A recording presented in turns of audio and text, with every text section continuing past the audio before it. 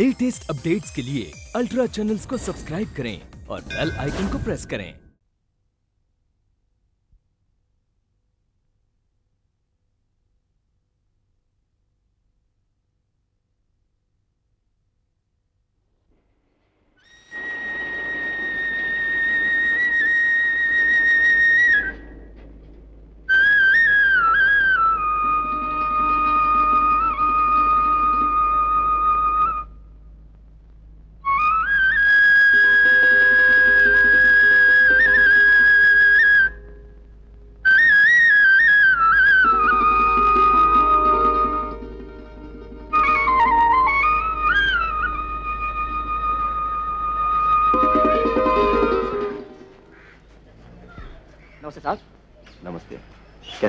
ठीक हूँ साहब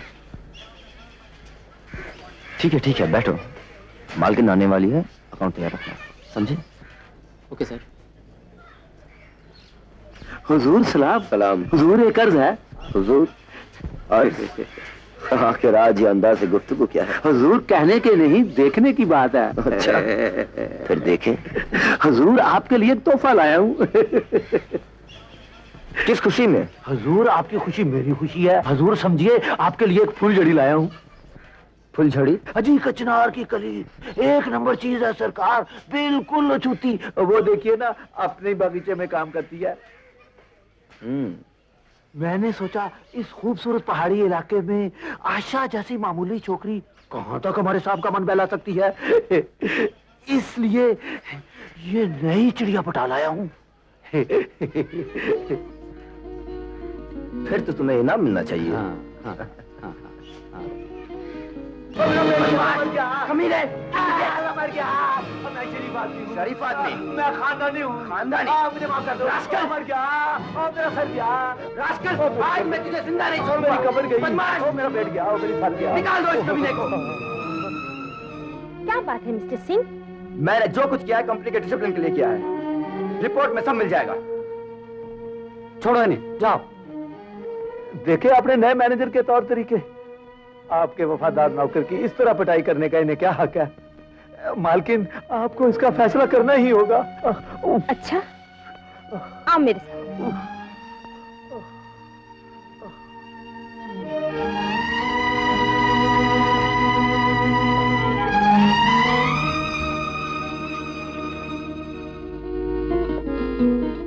माफ़ करना बहन मैं शर्मिंदा हूँ।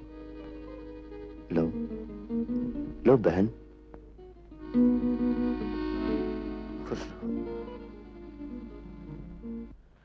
मालकिन यही है वो लड़की। नए मैनेजर की नूर है ना सर? आपकी पीठ पीछे ये खेल खेला जा रहा है मालकन। नमस्ते। नमस्ते। कौन है आप? जी मैं हूँ आशा। आपके मैनेजर की बहन। आप मिस्टर सिंह की बहन हैं? मिस्टर सिंह, आपके मैनेजर तो मेरे भैया हैं। मेरे मानवता, मानव, मगर रजिस्टर में तो उनका नाम मिस्टर सिंह लिखा हुआ है। मिस्टर सिंह? हाँ। तो क्या मानवता ने अपना नाम तक बदल डाला? शायद वो अपनी पिछली ज़िंदगी के साथ साथ वो अपना नाम भी भूल जाना चाहते हैं। मैं कुछ समझी नहीं। जमाने ने उन पे बहुत जुल्म किया है, दीदी। लेकिन मेरे भैया ने कभी किसी का दिल नहीं दुखाया, कभी कोई अन्याय नहीं किया। जहाँ तक हो सका, सबकी मदद की। बड़ी सुनी सुनी सी है उनकी ज़िंदगी।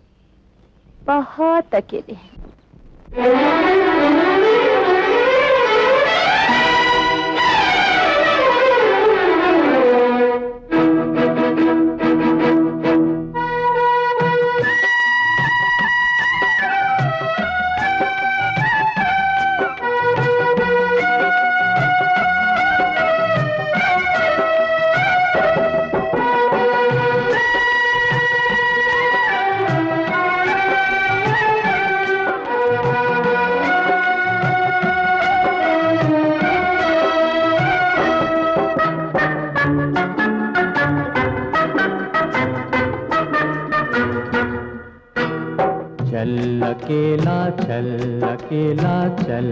अकेला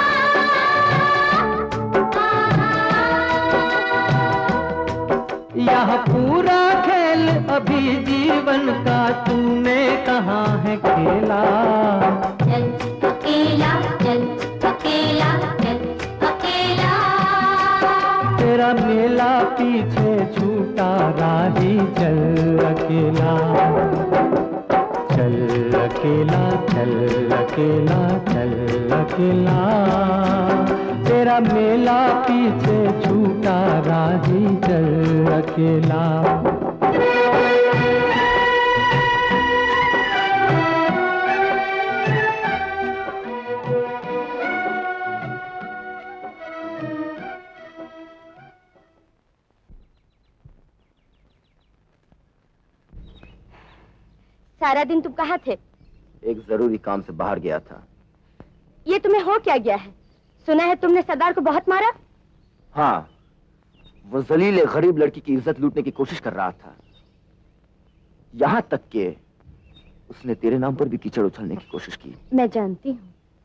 लेकिन मैं नहीं चाहता कि मेरी बदकिस्मती के तूफ़ान में घिरकर तू बदनाम हो जाए। आशा तू कलकत्ता वापस चली जा। भाई और बहन का रिश्ता गंगा की तरह पवित्र होता है। किसी के कहने से गंगा अपवित्र हो जाती है क्या? हाँ अंतोनी और सरदार आए थे। मालकिन ने तुम्हें बुला भेजा है। मगर मैंने तो प्रोग्रेस रिपोर्ट भेज दी है। एंटोनी और सरदार? अच्छा तो मिसेस सेन मुझे सरदार और एंटोनी के सामने जलील करना चाहती हैं। मैं ये नौकरी छोड़ दूँगा। मानवता सुनो ना मानवता। मालकिन मुझे तो डर है सारे काम करने वाले कहीं बिगड़ ना जाएँ। आजकल तो सीज़न का मौका है। एक दिन भी काम बंद रहा तो हमें सख्त नुकसान होगा। आपने देख तो लिया है सिंह साहब कितना बुरा सलूक करते हैं। कौन है? Mohan Singh please come in मालकिन अच्छा तो अब हम चलें।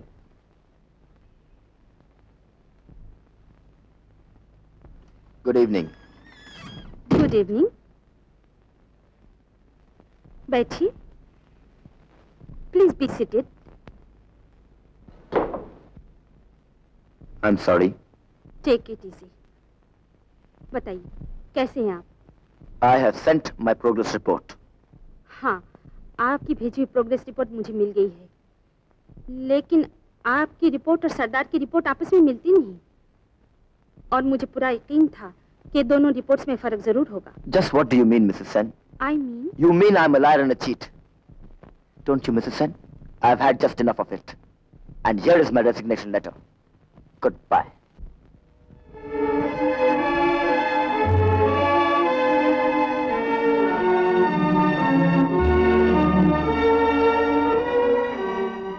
अगर तुम्हें ये नौकरी नहीं करनी है तो इसमें सोचने की क्या बात है मैं तुम्हारे लिए इससे भी अच्छी नौकरी अरेंज कर सकती हूँ हमारे घर एक करोड़पति आ रहे हैं पिताजी ने उनके स्वागत में पार्टी की है। चलो मेरे साथ। तुम तो जानती हो मुझे ये पार्टी और ये सोसाइटी पसंद नहीं है। अब तुम जाओ। कॉलेज के जमाने से देखती आ रही हूँ हर बात में जिद करते हो। मैं ज़मीन की कहती हूँ तुम आसमान की समझते हो। मुझ पर गुस्सा करना बेकार है। तुम्हारे प्यार का अपमान तो संध्या ने किया है। मुझे वो अपमान तुम्हारी इस एहसान से कहीं ज़्यादा पसंद है। संध्या मेरी ज़िंदगी है। मेरा पहला और आखिरी प्यार। लेकिन तुमसे तो कभी कुछ नहीं मांगा था रीटा। ना तुम्हारी हमदर्दी और ना तुम्हारा प्यार। सुनो मानव एक जमाना था जब शायद मैं तुम्हें चाहती थी। और अब? अब सिर्फ़ दया आती है तुम पर। दया।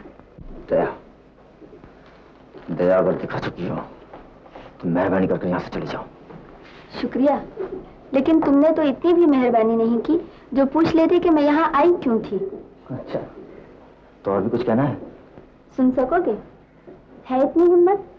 तो सुनो जिस संध्या के लिए तुम देवदास बने घूमते हो वही संध्या अब किसी और की होने जा रही है। तुम्हारी मम्मी ने संध्या की शादी का इनविटेशन कार्ड भी मुझे भेजा था। ये लो देख लो पढ़ लो अपनी आँखों से। जब इतना कष्ट करके तुम यहाँ आई हो तो पढ़कर सुना भी दो। डरो मत। मेरे भैया दुख से ऐसे के पत्थर बन गए। पत्थर। Sentimental fool goodbye my practical sister Asha अब तुम मुझे कुछ नहीं कहोगे। जा खाना खा के सो जा आशा।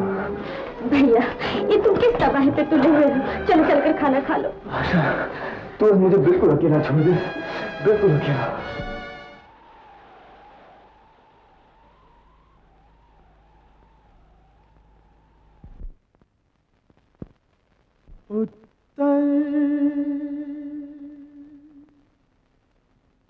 दक्षिण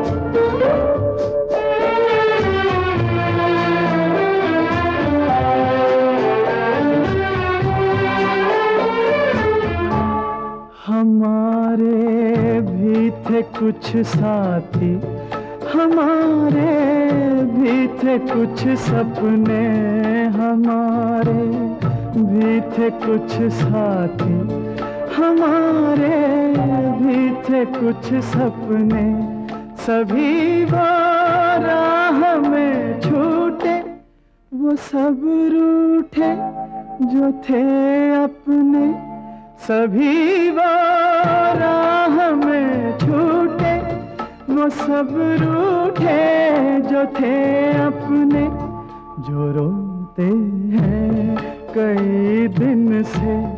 जरा उनको भी समझा लो, अरे ओ रोशनी वालों। अंधेरे में जो बैठे हैं, नज़र उन पर भी कुछ डालो। अरे ओ रोशनी वालों।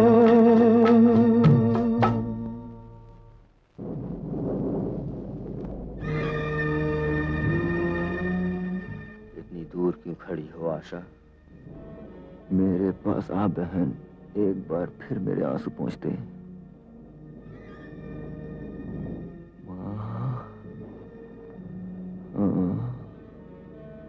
मन।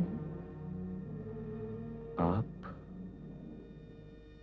आप इतनी रात गए? पता नहीं। तुम्हारी दर्द भरी आवाज़ में कैसी पुकार थी जो मुझे यहाँ ले आई।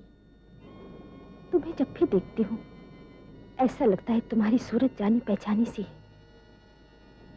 आखिर आपको क्या चाहिए? सिर्फ़ तुम्हें जानना चाहती हूँ। बताओ तुम इतना परेशान क्यों रहते हो? तुम्हें क्या दुख है? मेरे पास कहने के लिए कुछ भी नहीं। कुछ भी नहीं। मानव ये क्या? तुम मेरे सामने भी पियोगे पीना? मैंने तो कभी सोचा ही नहीं था से छूँगा भी। मैं जानता हूँ ये वो जहर है जो मुझे छुलस देगा। फिर भी पीता हूँ। फिर क्यों पीते हो? मुझे मेरे हाल पे छोड़ दीजिए। मैं तुम्हें कभी नहीं पीने दूँगी। तुम आइंदा कभी नहीं पियोगे। मैं तुम्हें कभी नहीं पीने दूँगी। मिसेस सेन मेरी माँ भी ठीक इसी तरह कहा करती थी। तुम्हारी माँ? हाँ मेरी माँ। क्या कहा करती थी? बोलो। किससे कहा करती थी? बोलो। मेरे पिताजी से। ठीक इसी तरह। बड़ी दुख भरी है मेरी कहानी में सेन। आज मुझे सब कुछ कहो। The story of my frustration मेरे पिता राजगंज के जमींदार थे। उनकी आँखों में अपनी प्रजा की भलाई का एक सपना था। सपना था जीवन प्रभात का। आज मुझे सब याद आ रहा है। ना बीता हुआ जीवन। जीवन की वो साँझ। मेरी माँ मेरे बाबू आज से बारह साल पहले की बात है। उस दिन दशहरा था।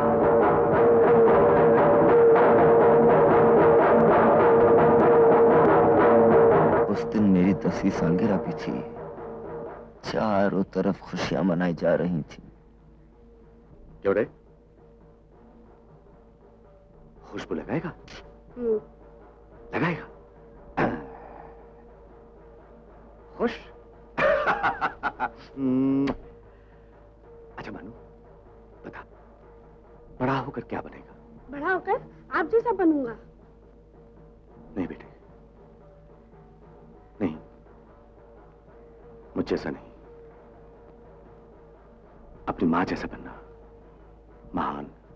हाँ हाँ बनो मेरे जैसे।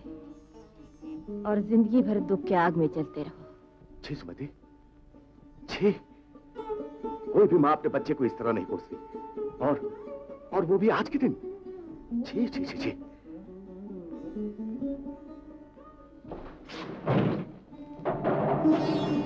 ये आप क्या कर रहे हैं? देख तो रही हो। आपने आज तक जो कुछ किया मैं सब जानती हूँ। आपका नया फैसला भी सुन चुकी हूँ। लेकिन लेकिन हर चीज़ की हद होती है। हद? हाँ।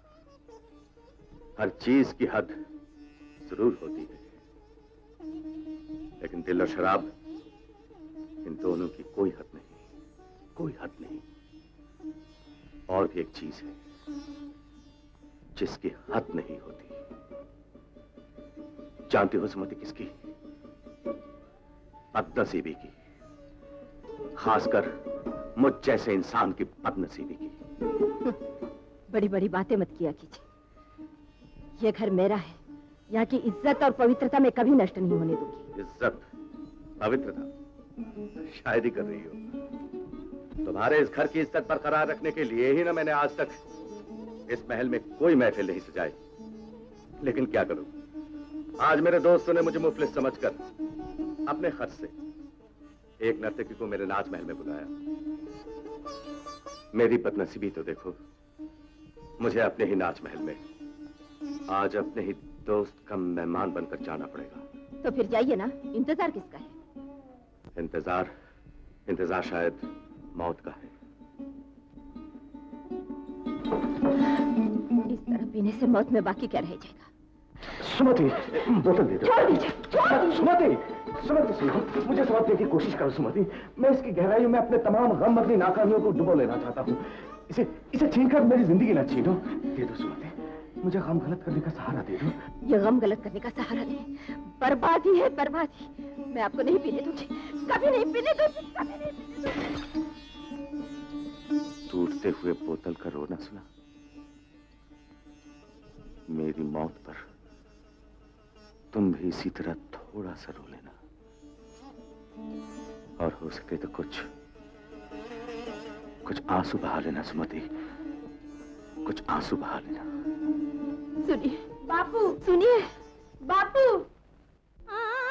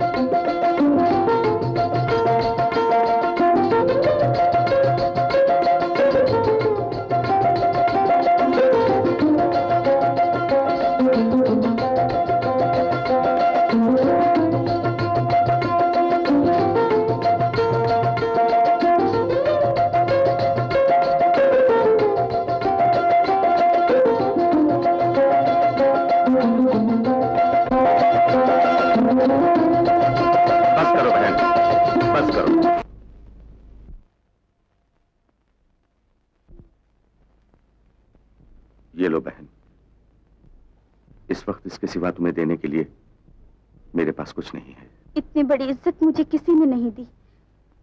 आपने मुझे बहन कहा यही मेरे लिए सब कुछ है। इसे अपने भाई का तोहफा समझकर रख लो। रख लो? रख लो। खुदा आपका मर्तबा और बुलंद करे। खुश रहो बहन। खुश रहो।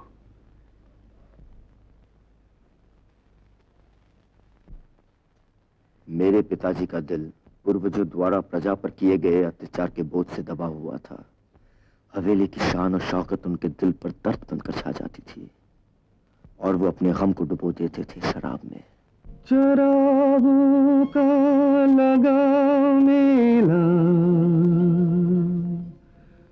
ये झांकी खूबसूरत है।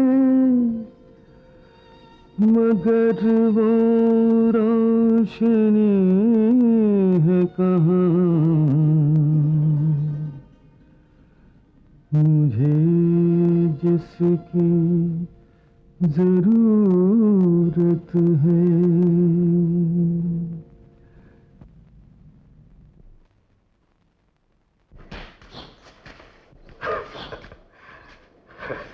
शबे विशाल है।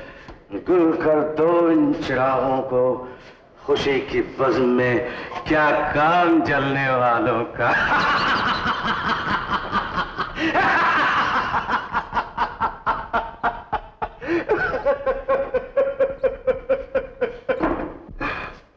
मजलूम किसानों की आह, पत्थर बनकर मेरी आत्मा को पीसती रही है, पीसती रही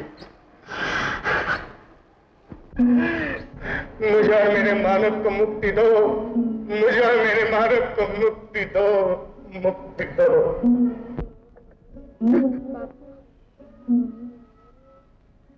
मानो? मानो? बापू आप रो क्यों रहे हैं? मैं? मैं कहाँ रो रहा हूँ? तो ये आँसू? इतनी रात हुई तो अभी तक सोया नहीं? चल जा। जा सो जा सो तुम्हारे पिताजी कहाँ हैं? उनसे कहो हीरालाल बाबू आए अभी बुलाता हूँ। बापू बापू बापू बापू। सर्वमङ्गलमङ्गले शिवे सर्वार्थ साधिके शरण्ये त्र्यम्बके गौरी नारायणी नमस्तुते। नमस्कार नमस्कार हीरालाल जी आप आ गए? मैं तो सिर्फ़ कोर्ट का ऑर्डर लाया हूँ। मजबूरन आना पड़ा। यानी कि मुझे मकान आज ही खाली करना पड़ेगा। वाह कितने भले आदमी हैं आप। आज पूजा के दिन कब्जा लेने आए हैं। मैं तो सिर्फ़ अदालत का हुक्म लाया हूँ। कानूनन जो चीज़ अब मेरी हो चुकी है क्या मैं उस पर कब्जा नहीं कर सकता? बेशक कर सकते हैं लेकिन जरा भी तो शर्म की होती। आज के दिन गिरे से गिरा आदमी भी ऐसा नहीं कर सकता। गुस्सा नहीं करते नायब जी। जाइए ऊपर मानव को ले जाइए। जाओ बेटे। आप खड़े क्यों हैं? तशीफ रखिए। बैठिए बैठिए बैठिए ना। बस मुझे पाँच दस मिनट की मोहलत दीजिए। मैं भी हाजिर होता हूँ।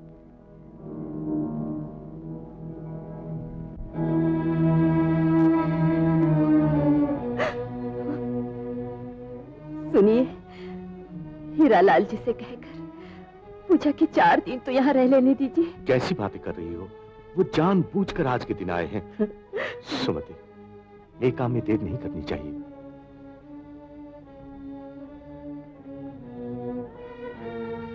माँ मुझे शक्ति दो माँ शक्ति दो। बहुरानी बहुरानी।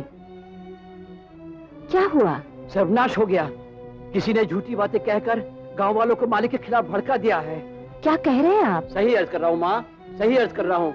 लोगों का ख्याल यह है कि जमींदार साहब बहुत से पैसे बटोर कर यहाँ से भाग रहे हैं। लोग पागल जैसे हो रहे हैं। शायद खून खराबी की नौबत ना आ जाए। हे भगवान।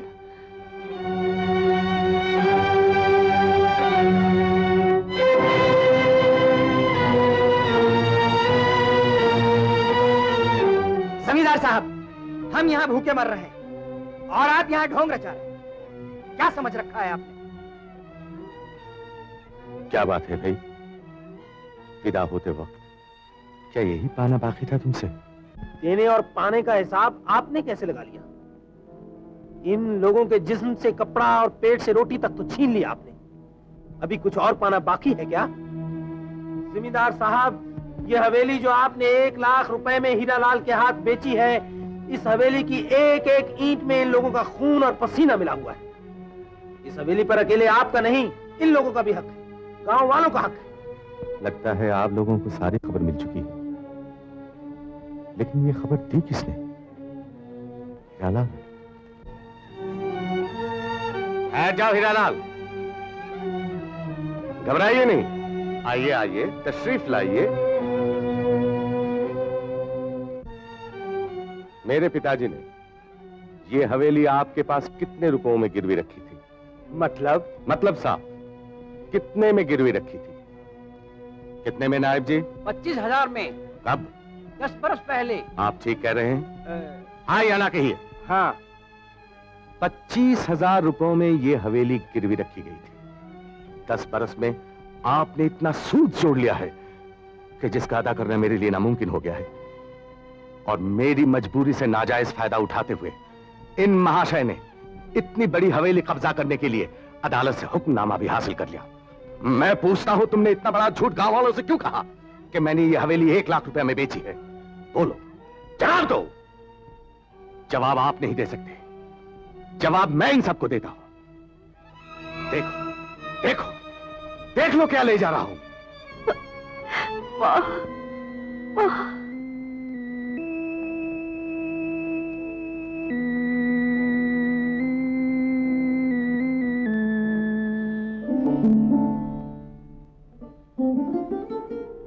बहुत शर्मिंदा हैं जिम्मेदार साहब। बहुत शर्मिंदा है। नहीं नहीं भाई। शर्म तो मेरे लिए है। मेरे पुरखों के जुल्मों का प्रायश्चित तो मेरे बहते हुए खून से होना चाहिए था। आप लोग आप लोग सचमुच महान हैं जो मेरी जान बख्श दी ये ये शायद तुम्हारे ही पुण्य का फल है। चलो सुमति। भाइयों मैं जा रहा हूँ। मैं पापी जा रहा हूँ। अपनी जन्मभूमि छोड़कर अपने साथ ले जा रहा हूँ। अपने आँसू। नहीं जमींदार साहब नहीं। ऐसा नहीं हो सकता। हम आपको सब कुछ दे सकते हैं। सब कुछ। आप ही लोग तो बरसों से सब कुछ देते आए हैं। लेकिन आज जाते वक्त उसमें से थोड़ा बहुत वापस करने का मौका सरकार ने मुझे दे दिया। मुझे सरकार से जमींदारी का मुआवजा एक लाख रुपया मिला, जिसमें से पाँच हज़ार रुपए मैंने दिए अपने नायब जी को। इनके बुढ़ापे के सहारे के लिए पाँच हज़ार रुपए दिए यतीम बच्चों की पढ़ाई के लिए और आप लोगों पर किए गए जुल्मों के भार को हल्का करने के लिए मैंने नब्बे हज़ार रुपए का एक दान पत्र लिख दिया। इसे संभालिए। ईश्वर आप सबकी भलाई करे। मैं चलता हूँ। नहीं साहब आप नहीं जा सकते। आप हर किस नहीं जा सकते हम आपको नहीं जाने नहीं देंगे सजाजान मुझे जाना ही होगा। मुझे तलाश है एक नई रोशनी की एक नए जीवन प्रभात की। अरे ये क्या? आपकी आँखों में आँसू? कोई यात्रा शुरू करे तो रोते नहीं? क्या आप मुझे आशीर्वाद नहीं देंगे? खुदा आपकी सारी तमन्नाएँ पूरी करे। आपका खुदा और हमारा भगवान है बड़ा मेहरबान, जिन्होंने मुझे इतनी जल्दी मुक्ति दे दी।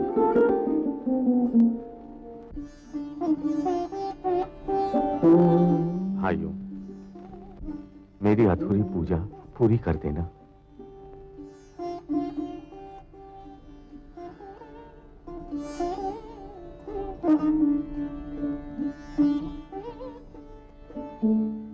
अरे, तुम बजाते क्यों नहीं? बजाओ। बजाओ ना।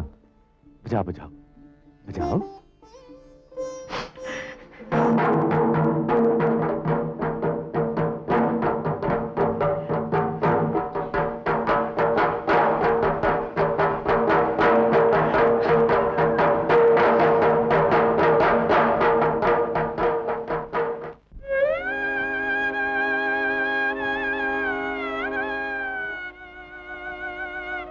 बापू और कितनी दूर चलना है?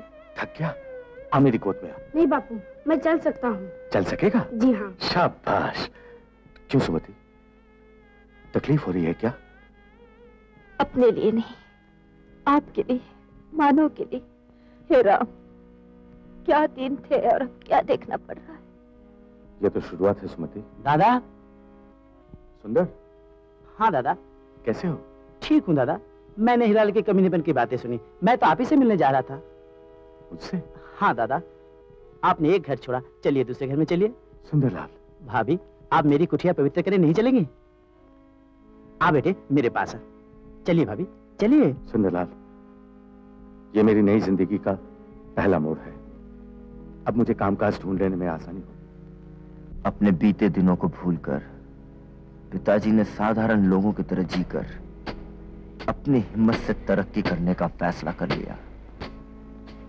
आँखों में नया सपना और मन में नए जीवन की अभिलाषा लेकर वो कलकत्ते की ओर चल पड़े। क्या तेरे बाप की है क्या?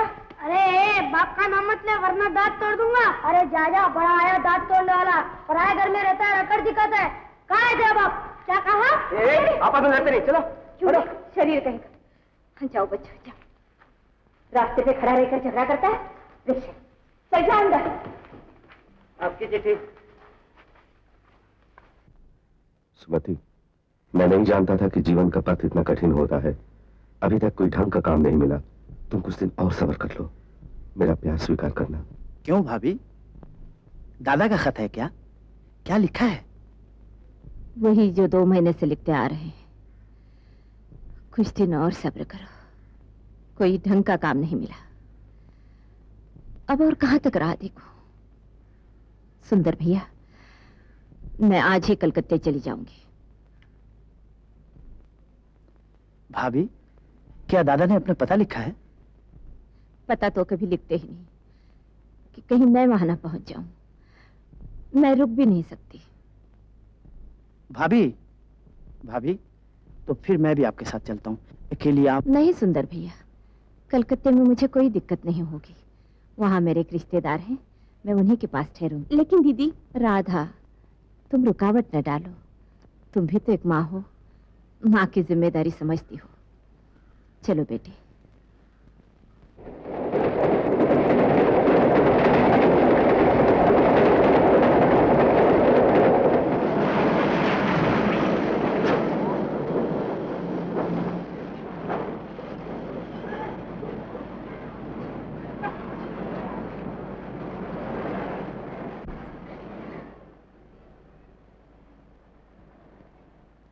हरी बाबू हैं? हरी बाबू? यही रहते हैं ना? वो तो तीन साल हुए चले गए।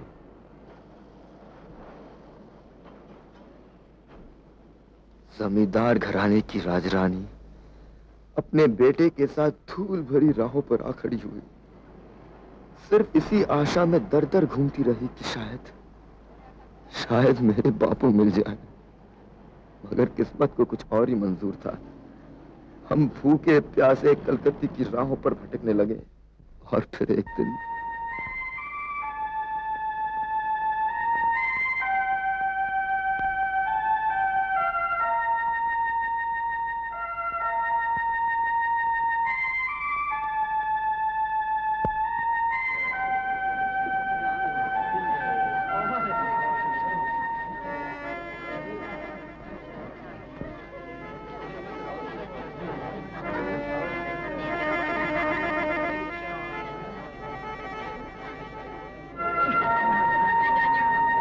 बच्ची लाओ दही लाओ।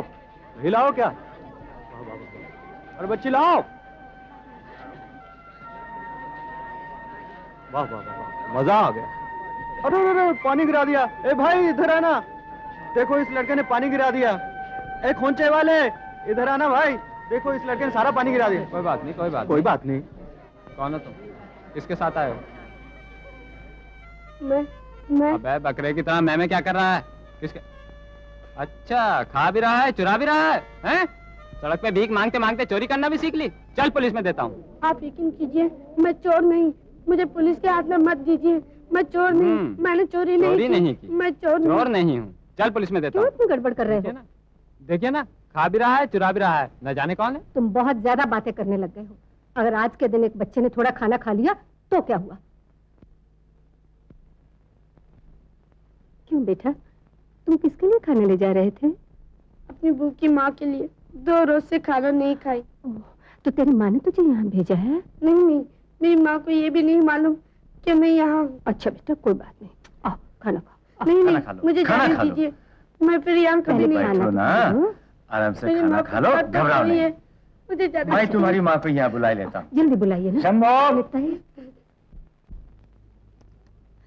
यही है मेरे दुर्भाग्य की कहानी। आपका उपकार जीवन भर नहीं भूलूँगी। मानो प्रणाम कर बेटे। अच्छा मैं चलूँ। आप कह क्या रही हैं? कलकत्ता आपके लिए बिल्कुल अनजाना है। इस मासूम बच्चे को लेकर आप कहाँ रात को जाएँगी? आप यहीं रह जाइए ना? अनु ठीक ही कह रही है। आप यहीं रह जाइए। हमारे पास भगवान का दिया बहुत कुछ है लेकिन भोगने वाले नहीं। आज हमारी शादी की आठवीं सालगिरह है। इस शुभ दिन पर जब आप यहाँ आई गई हैं तो आपको जाने नहीं दूँगा। आप मेरी बड़ी बहन बनकर यहीं रहेंगी। आज से हमारे इस छोटे से संसार की सारी ज़िम्मेदारी आप पर है। हाँ दीदी आप बिल्कुल चिंता न कीजिए। मैं कल ही मानव को स्कूल में भर्ती करा देता हूँ। क्यों बेटा? स्कूल जाया करेगा ना? हाँ। हाँ। आज से इसकी सारी ज़िम्मेदारी हम पर है। आज के दिन आप हमें आशीर्वाद दीजिए। आशीर्वाद? जी। आज किसी को आशीर्वाद देने का अधिकार मुझे नहीं। फिर भी मैं भगवान से प्रार्थना करती हूँ। तुम दोनों सुखी रहो। तुम सही मानो में एक दूसरे के जीवन साथी हो। मंगल में तुम्हारा मंगल करें। बेटा आओ मेरे पास। आओ। मैं कौन हूँ तुम्हारी? बोलो बेटे। कौन है आप? मैं तुम्हारी एक और माँ हूँ। माँ? माँ? हाँ बेटे।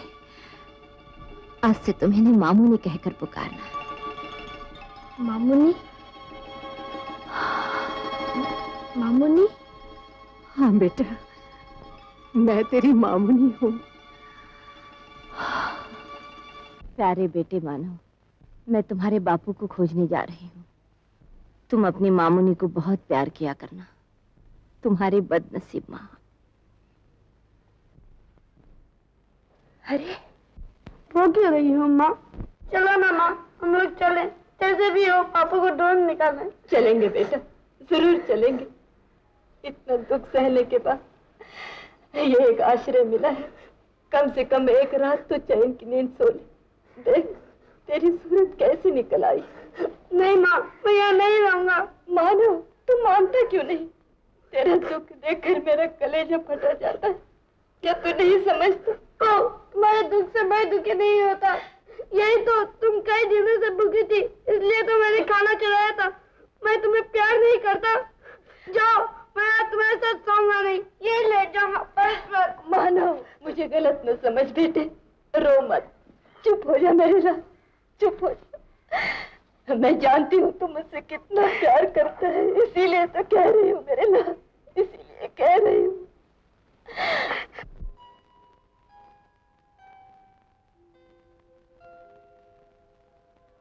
अपनी माँ की किस्मत पर मेरे बेटे तू मत रो। अपनी माँ की किस्मत पर। मेरे बेटे तू मत रो।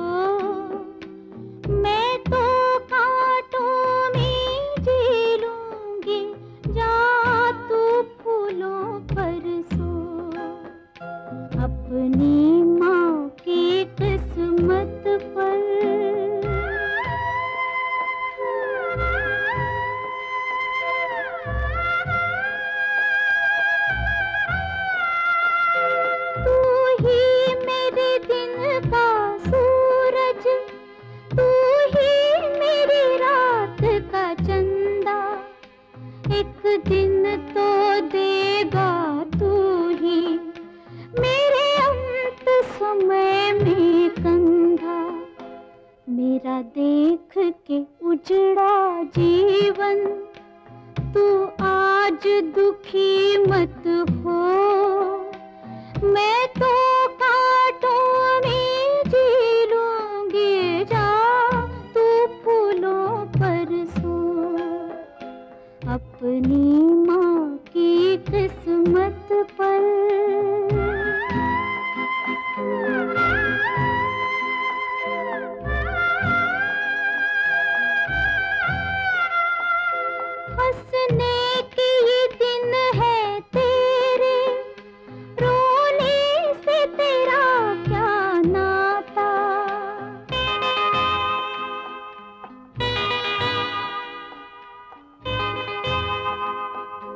हंस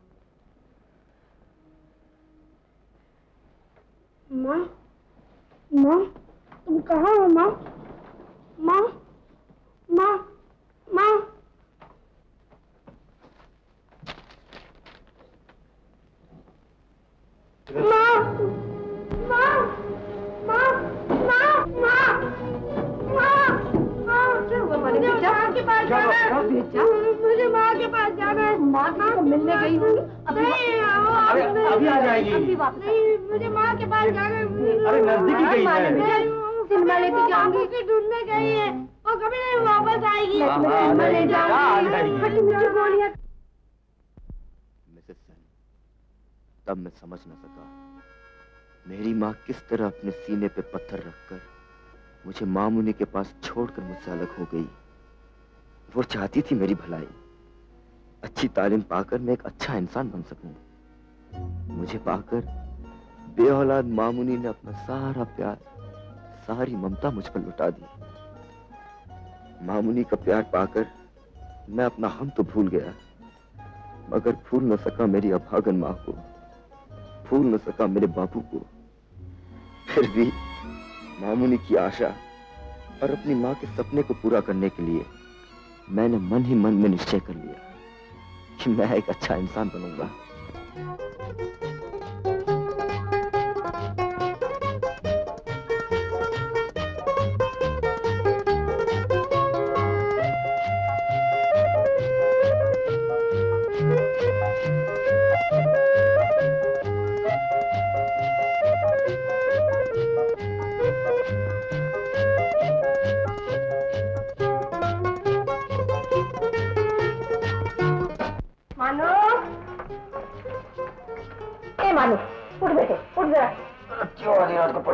बेटे आधी रात नहीं आधा दिन होने को आया है।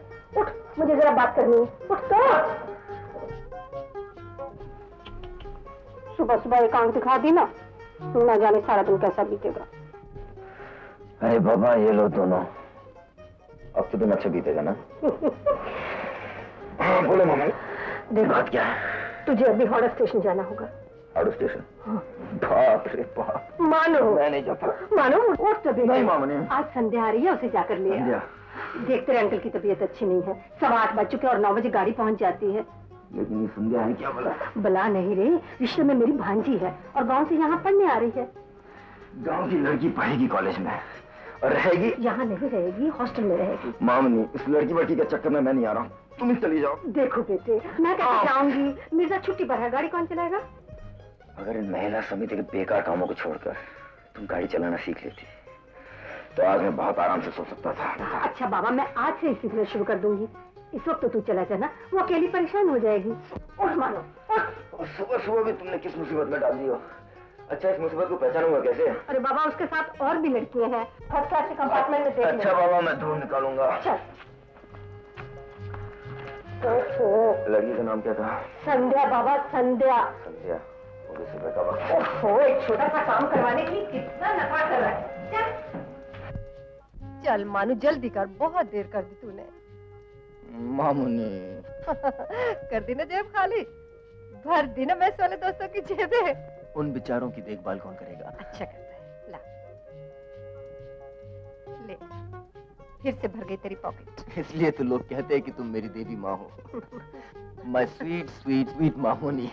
ले। अब क्या हुआ?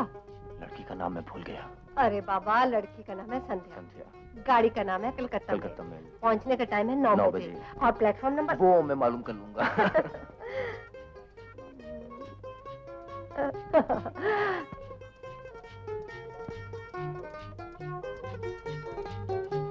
और सुन रैश ड्राइव नहीं करना। तुझे मेरी कसम। यस मैम नाश्ता कर। अरे नहीं बाबा नाश्ता किए बगैर मत जाओ।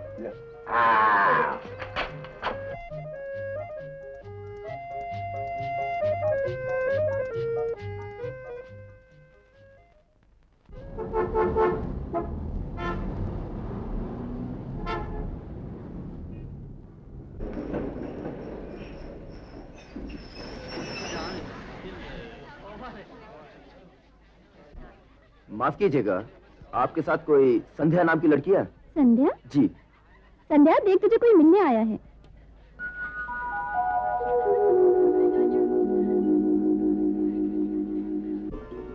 संध्या को जो देखा तो बस देखता ही रह गया। उसकी सूरत में मेरी खोई हुई माँ की हल्की सी परछाई थी। आप अंकल आने वाले थे ना? जी। अंकल की तबीयत खराब है।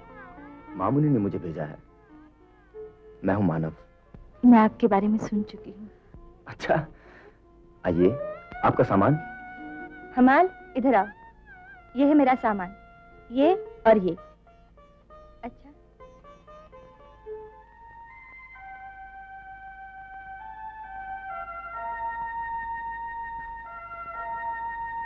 मुझे आज भी याद है वो दिन जब मुझे और मेरी माँ को यहाँ आसरा मिला था और मेरे सुख के लिए माँ मुझे यहाँ छोड़कर चली गई थी। मामनी इसी दिन को मेरा जन्मदिन मानकर बड़े धूमधाम से मनाया करती थी। चारों तरफ़ खुशियों के अंबार लगा देती। मेरे जन्मदिन के फूलों के बहार में हमेशा की तरह उस दिन भी दर्द बनकर मेरी आँखों के सामने आ खड़ी हुई थी। मेरी माँ की भूख से बिलकती हुई सूरत।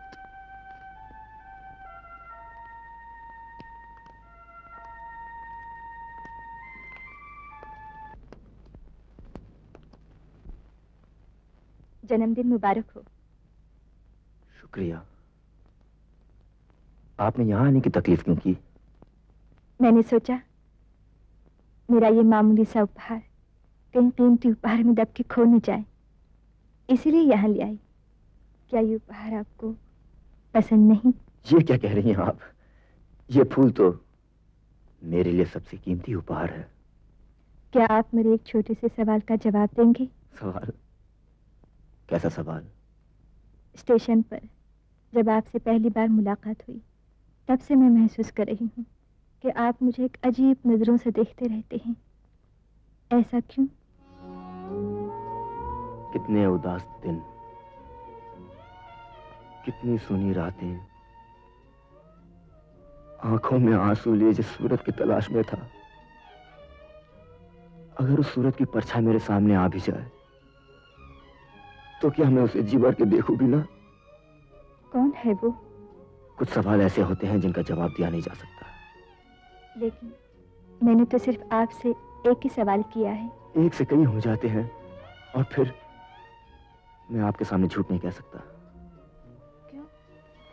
क्या लगती हूँ मैं आपकी? आप मेरे? अरे क्या बातें हो रही हैं तुम दोनों में?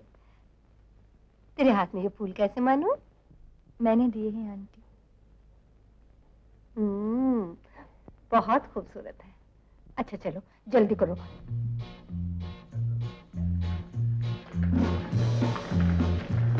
हेलो मानव हेलो रीटा मुबारक। थैंक यू क्यों आशा आप फुर्सत मिली?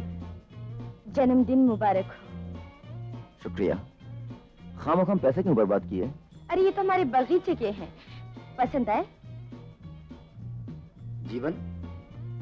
आशा बहुत बड़ी हो चुकी है। बस अब जल्दी से इसकी शादी कर दे। क्या हुआ? हम लोगों की हालत तुमसे छुपी नहीं मानो। फ़िक्र मत कर। मैं जो हूँ। चलो आओ मेरे साथ। मैंने happy returns of the day thank you जरा हाथ बताना। आह! फेंक दो ना इन घटिया फूलों को। कभी कभी हीरे भी फूलों के सामने घटिया नज़र आते हैं रीटा। प्यार के तराजू में हीरा हो या फूल कीमत उसकी नहीं होती है। कीमत सिर्फ़ जज्बात की होती है। नहीं मानो ये लोग जज्बात लेकर नहीं आते। ये आते हैं सिर्फ़ अपनी ज़रूरत के लिए। ज़रूरत किसको नहीं होती है? लेकिन गरीब इंसान ज़रूरत के लिए अपना ईमान कभी नहीं बेचता। गरीब लोग अपनी ज़रूरत के लिए ईमान तो क्या बच्चे तक बेच डालते हैं। तुम्हें क्या मालूम इंसान किस तरह अपने दिल पर पत्थर रखकर अपनी औलाद से अलग होते हैं? उनकी मजबूरी तुम क्या समझो? ये लो मैं इसके काबिल नहीं। अरे अरे तुम दोनों में ऐसी सीरियस बातें क्या हो रही हैं? हर मामूली बात को सीरियस बनाना इनकी आदत है आंटी। ओहो मैं तेरा क्या करूँ मानू? आज ये सारा इंतज़ाम तेरे लिए हुआ है। आज तो अपना मुँह ठीक रखना। मदन! ए प्रताप चलो चलो इसे गाने के लिए बोलो। ये ऐसे नहीं मानने वाला। चलो इसे पकड़ कर ले चलो। मामुनी मैं नहीं गा सकूँगा प्लीज़ आज तुझे हो क्या गया है? तू ऐसी जिद क्यों कर रहा है? माँ जी। आती हूँ। अरे संध्या तू ही इसे कहना शायद तेरी बात मान जाए। जब सभी कह रहे हैं तो सुना दीजिए ना एक गाना। आप भी कह रही हैं? हाथ जोड़कर। लेकिन क्या गाऊं कुछ भी नया पुराना जो भी याद आए आपके जन्मदिन पर नया पुराना मेरे जन्मदिन पर हाँ हाँ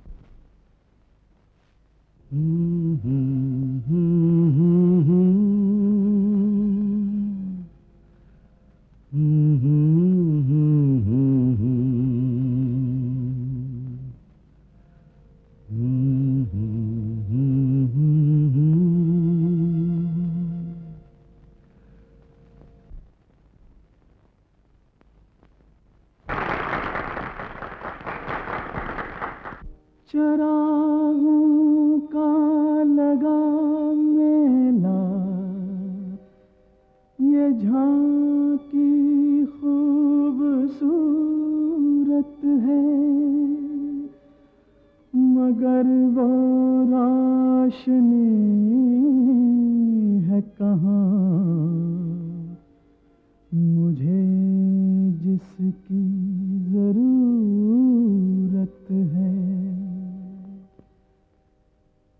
खुशी लेके मैं क्या करूँ? मेरी है अब तलक रात काली। ये खुशी लेके मैं क्या करूँ? मेरी है अब तलक रात काली। जगमगाते दियो मत जलो। जगमगाते दियो मत जलो। मुझसे रूठी है मेरी दिवाली। ये खुशी लेके मैं क्या करूँ? मेरी है अब तलक रात काली।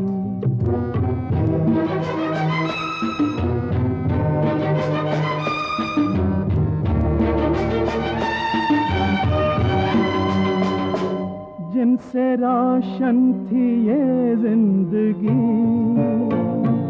वो उजाले कहीं चल दिए। जिनसे रोशन थी ये ज़िंदगी। वो उजाले कहीं चल दिए। रोशनी मेरे आकाश को देने वाले कहीं चल दिए चल दिए हैं मेरे देवता। दिल का मंदिर पड़ा आज खाली। जगमगाते दियो मत जलो, मुझसे रूठी है मेरी दीवाली। ये खुशी लेके मैं क्या करूँ? मेरी है अब तलक रात काली।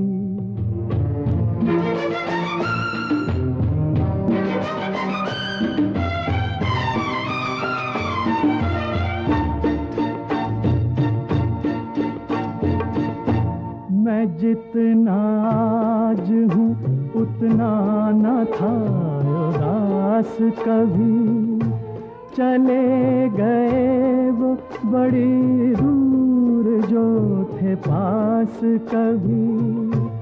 अनाथ कर गए मुझको बिसारने वाले। बिना बताए अचानक से धारने वाले। कहाँ हो ऐ मेरी बिगड़ी संवारने वालों पुकार मुझे बेटा पुकारने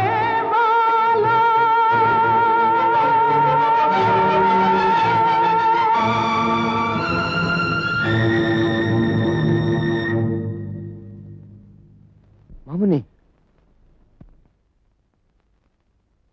मामुनी। मुझे छोड़ के मत जाना। मैं मर जाऊँगी। मुझे माफ़ कर दो। अब ये भूल मुझसे कभी नहीं होगी। ऐसा नहीं मानो। मानो मैं तुझे वो प्यार नहीं दे सकी जो तेरी अपनी माँ तुझे देती। ऐसा मत कहो मामुनी। मैं सच कहती हूँ तेरे माँ बाप को ढूँढने में मैंने कोई कसर नहीं रखी। अगर वो मिल जाते तो तेरी खुशी के लिए मैं तुझे उनके हवाले कर देती। चाहे तेरी जुदाई के दुख में प्राण चले जाते। ऐसा मत कहो मामुनी। जुदाई की बात मत सोचो। तुम्हारे चरणों के सावन खाकर कह सकता हूँ मामुनी। कि दुनिया की कोई भी ताकत तुम्हें मुझसे जुदा नहीं कर सकती। अरे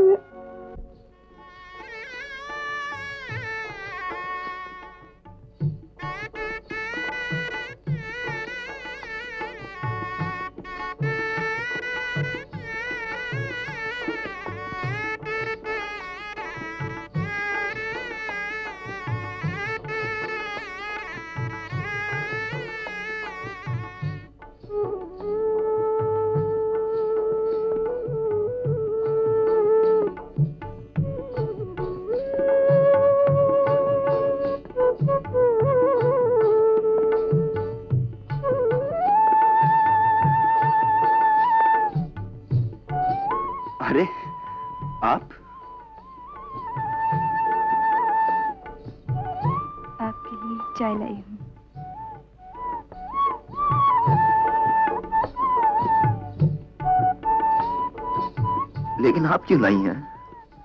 क्यों? क्या आप मेरे हाथ की चाय नहीं पियेंगे? जी नहीं मेरा मतलब ये काम नितायदा और मामनी के जिम्मे था।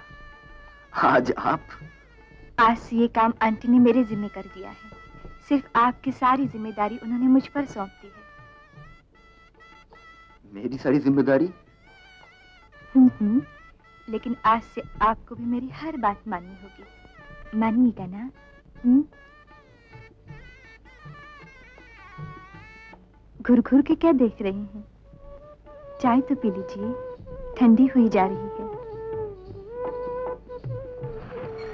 मीठी तो है ना?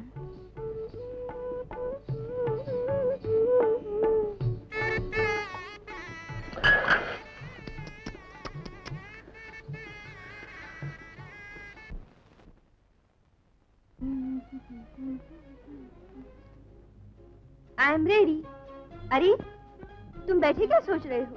ओफो मैं तुम्हारा क्या इलाज करूँ? चलो उठो उठो ना। नहीं संध्या। आज रहने दो।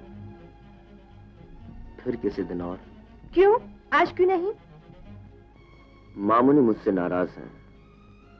मुझे देखते ही मुँह फेर लेती है। पता नहीं क्यों। वो तुम मुझसे नाराज़ है और मेरा गुस्सा तुम पर उतार रही है। मैं उन्हें मना लूँगी। तुम चलो तो सही। ओ आंटी तुम अभी तक तैयार नहीं हुई? मैं नहीं जाऊँगी। नहीं चलो। तुम्हें ज़रूर चलना होगा। कितनी अच्छी नुमाइश लगी है। चलो ना उठो ना। कह दिया ना एक बार मैं नहीं जाऊँगी? मामुनी चलो ना। क्या तुम मेरी बात नहीं मानोगी? हाँ आंटी चलो ना प्लीज़ खामखा सीन क्रिएट करने की कोई ज़रूरत नहीं। सीन और बड़ी गाड़ी नहीं छोटी गाड़ी लेकर जाना।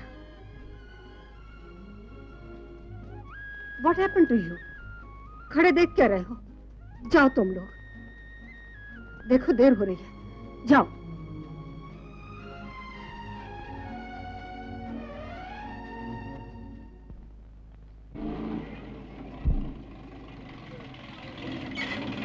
यहाँ कहाँ ले आए हो?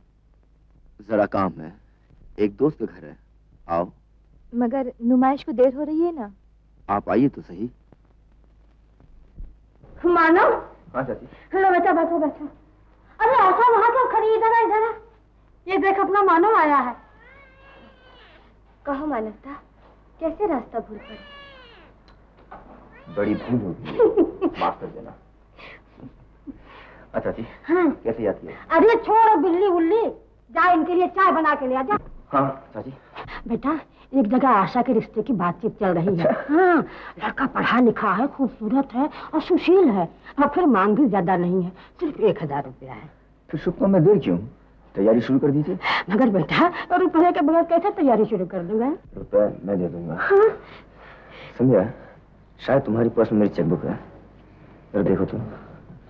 ये लो। माँ जी हाँ।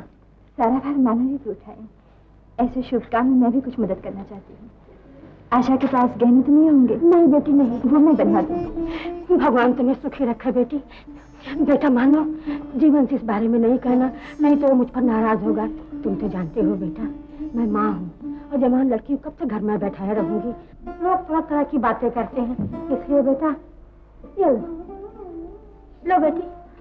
थैंक यू नहीं नहीं इस वक्त नहीं। तुम्हारी शादी पर जी भर के कहूँगी ओफो एक चेक साइन करने के लिए इतनी देर। जल्दी करो नुमाइश को देर हो जाएगी। मानव साहब मेहरबानी करके आप चेक पे साइन मत कीजिए। क्यों? मेरे भाई पहले से आपके कर्जदार हैं। मैं नहीं चाहती कि कर्ज का बोझ और बढ़े।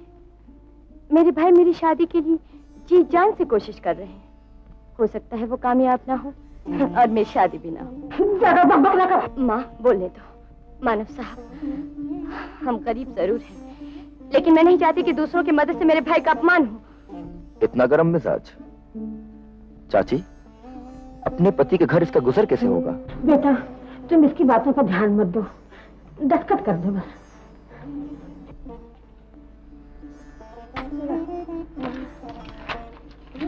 इतना घमंड ये तुम्हें शोभा नहीं देता। मानव साहब जरा आप अपनी तरफ़ तो देखिए क्या इतना घमंड आपको शोभा देता है? मैं कसम खाती हूँ। कि जब तक अपने भाई का कर्ज मैं पाई पाई नहीं चुका दूँगी मैं चैन की सांस नहीं लूँगी। मदद करने आए थे और इस तरह जलील हो रहे हो। अभी और जलील होने का इरादा है क्या? चलो यहाँ से। अच्छा चाची। बहुत बहुत शुक्रिया आशा। बहुत शुक्रिया। अच्छा चाची।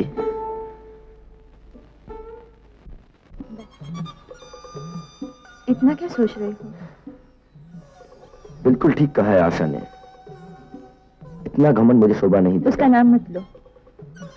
लेकिन उसने कितने साफ़ लफ्जों में मेरी गलती बयान करती है। मैं अक्सर ये क्यों भूल जाता हूँ कि मैं कौन हूँ? मानो कभी कभी तुम अजीब सा बर्ताव करते हो। मेरी समझ में कुछ नहीं आता। आज नुमाइश का प्रोग्राम भी चला गया और अब यहाँ उदास बैठे हो। मुझे मालूम है आंटी की बातों से आज तुम्हें बहुत दुख पहुँचा है। भूल जाओ। सुनो आज तुम अपनी माँ के बारे में कुछ बताओ ना। माँ के दुखों की कहानी सुनाकर मैं किसी को दुखी करना नहीं चाहता संध्या। ताज्जुब की बात है। तुमने मेरे पिताजी के बारे में कभी कुछ नहीं पूछा? आंटी से उनके बारे में जो कुछ भी सुना है उसके आगे और कुछ सुनने की इच्छा नहीं रही। सुनी सुनाई बात पे कभी यकीन नहीं करते संध्या। मेरे पिता मेरे आदर्श हैं। वो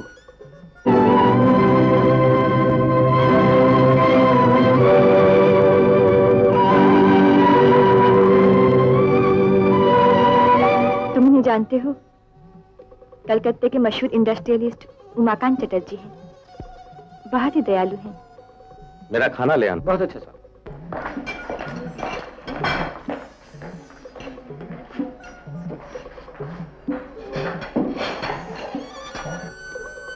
तुम्हारे चरणों के सौगन खाकर कह सकता हूँ मामुनी कि दुनिया की कोई भी ताकत तुम्हें मुझसे जुदा नहीं कर सकती। Bye bye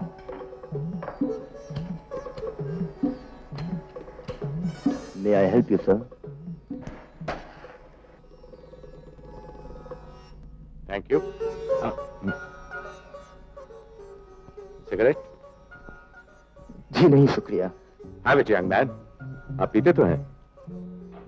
हाँ मगर बुज़ुर्गों के सामने पीना मैं गुस्ताखी समझता हूँ।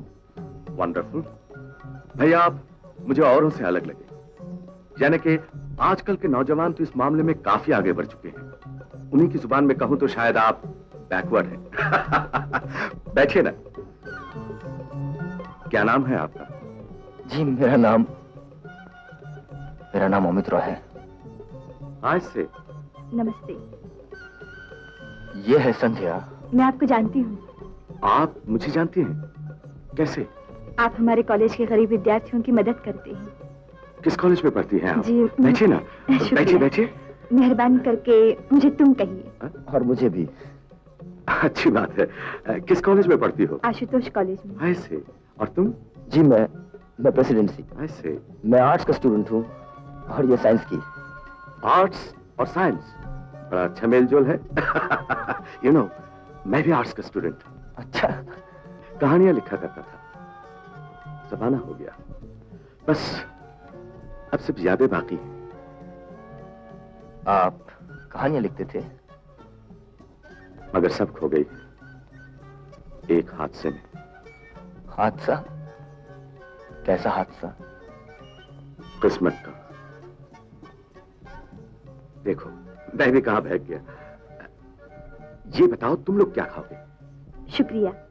हम लोग खा चुके हैं। नहीं नहीं ये कैसे हो सकता है? पहली बार मिले हैं। कम से कम मुँह मीठा तो करना ही पड़ेगा। अर्जुन तो फ़र्स्ट क्लास पुडिंग? सुनो अर्जुन दो प्लेट नहीं तीन प्लेट अच्छी बात है तीन। क्या सोच रहे हो? जी? आप आप शुरू कीजिए ना। हाँ हाँ शुरू कीजिए ना। अच्छी बात है। तुम लोग कभी मेरा यहाँ आओ ना? ज़रूर। एक दिन ज़रूर आएँगे।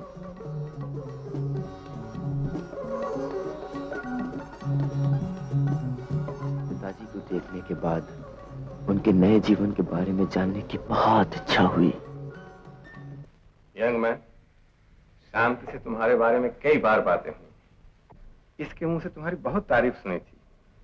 और अगर सच कहूँ तो आज तुमसे मिलकर मैं खुद भी बहुत इम्प्रेस हुआ हूँ। मैं चाहता हूँ तुम पोस्ट इंडस्ट्रीज़ ज्वाइन कर लो। शांति की भी यही इच्छा है। क्यों बेटी?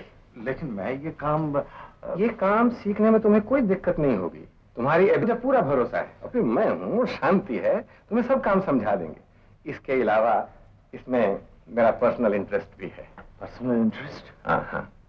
मेरे पास तुम्हारे जैसा एक मेहनती और ईमानदार आदमी हो तो मुझे और क्या चाहिए? तो आज से तुम बोस इंडस्ट्रीज़ के आदमी हो। जी तो तुम्हारे रहने के लिए शांति ने इसी बंगले में इंतज़ाम कर रखा है। बेटे इन्हें इनका कमरा दिखा। दो okay wish your best of luck and good night young man thank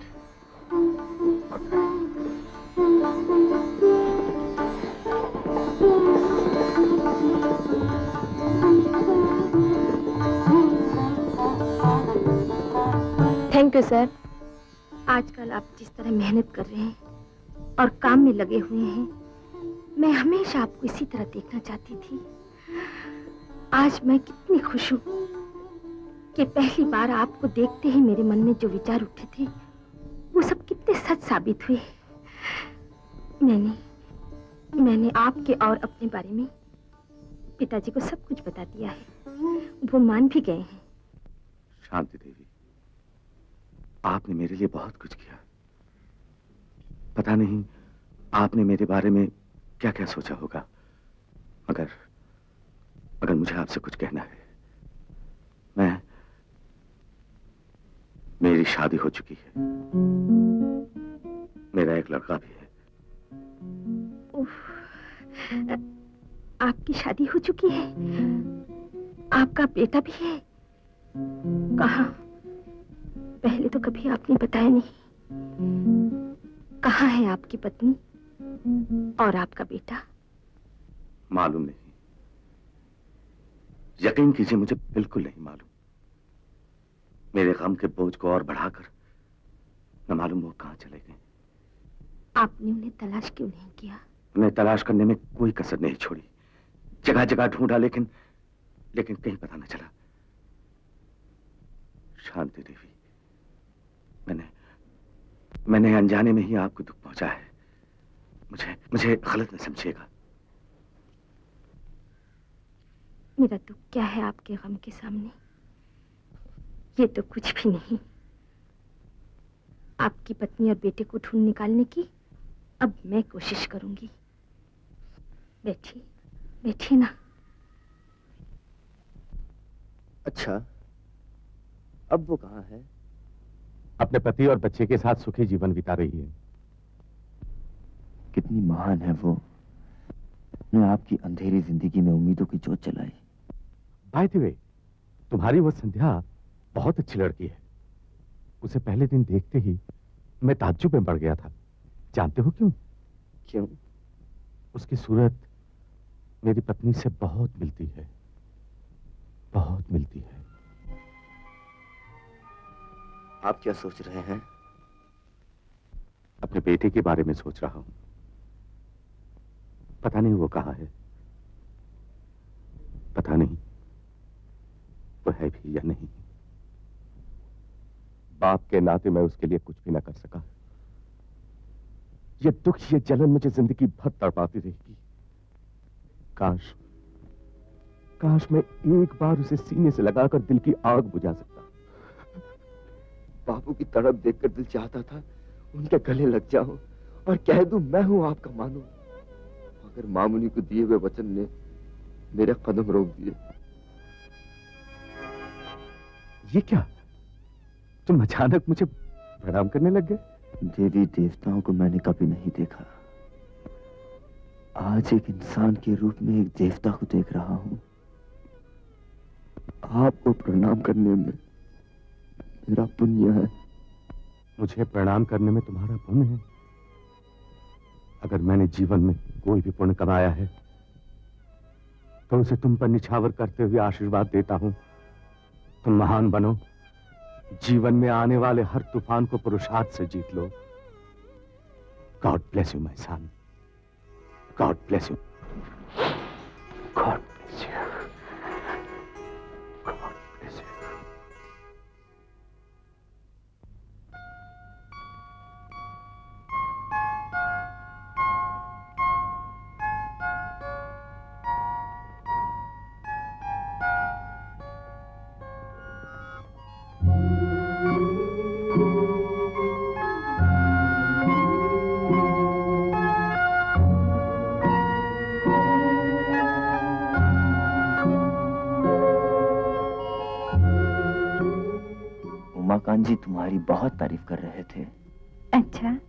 कह रहे थे मेरे बारे में?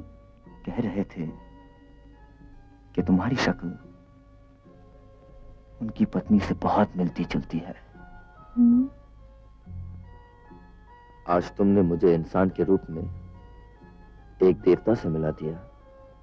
देखा मैंने तुम्हें कितने बड़े इंसान से मिलाया। अब तुम्हें भी मेरी एक बात माननी होगी। बोलो। गाँव से पिताजी का तार आया है। और उन्होंने हम दोनों को बुलाया है। नहीं संध्या। इस वक्त तुम अकेली चले जाओ। मैं कुछ उलझन में पड़ गया हूँ। नहीं तुम्हें मेरे साथ चलना ही होगा और तुम तो जानते हो। मैं तुम्हारे बिना एक पल भी नहीं रह सकती। फिर भी मुझसे अकेले जाने को कहते हो? अब मैं अपने और तुम्हारे बारे में पिताजी को सब कुछ बता देना चाहती हूँ। कहाँ है तुम्हारा गाँव? राजगंज। राजगंज? चलोगे ना? राजगंज? हाँ। राजगंज में ज़रूर चलूँगा। ज़रूर चलूँगा।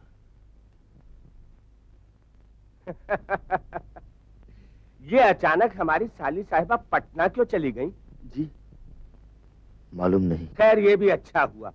इस बहाने तुम्हें राजगंज आने का मौका तो मिला। आओ चलो।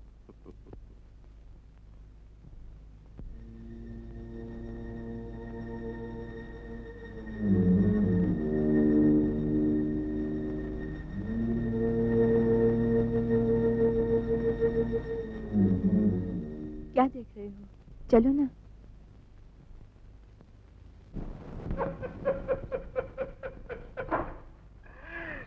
मुझे और मेरे मानव को मुक्ति दो। मुझे मेरे मानव को मुक्ति दो। मुक्ति दो।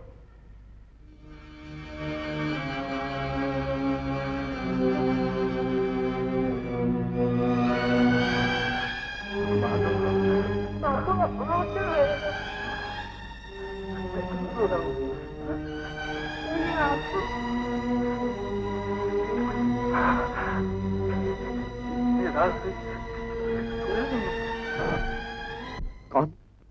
अरे तुम अभी तक सोए नहीं? जी नींद नहीं आ रही थी। बस यूँ टहल रहा था। आपकी हवेली बहुत शानदार है। शानदार थी नहीं मैंने बनवाई। दरअसल ये हवेली मैंने एक सरफिरे जमींदार से खरीदी थी जो अपने ख्याली उसूलों को अपनाने में तबाह बर्बाद हो गया। पता नहीं वो आप कहाँ गया। मगर उसकी बीवी आज तक मेरी गर्दन पर सवार है। वो कहाँ रहती है? स्टेशन के करीब मेरे ही एक मकान में रहती है। छह महीने से किराया नहीं दिया है मगर अकल वही की वही है। कहती है मैं ये जगह नहीं छोड़ूँगी जहाँ मैं दुल्हन बन के आई थी। सिर्फ़ यही नहीं एक अनाथ बच्चे को भी उसने पाल रखा है कौन है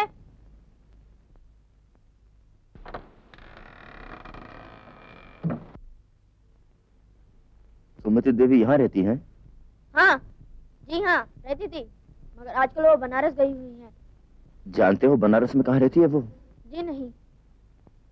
आप खड़े क्यों हैं? अंदर आइए ना। तुम मेरा एक काम करोगे? बोलिए। माँ के वापस आते ही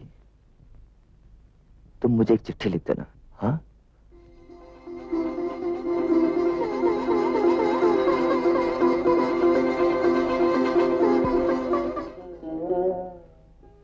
आप कौन हैं? मैं भी तुम्हारी तरह माँ का एक बेटा हूँ। आप मानूदा है ना? हाँ मैं मानव हूँ। माँ तो हर समय आप ही की बातें किया करती है। माँ मुझे याद किया करती है? हाँ।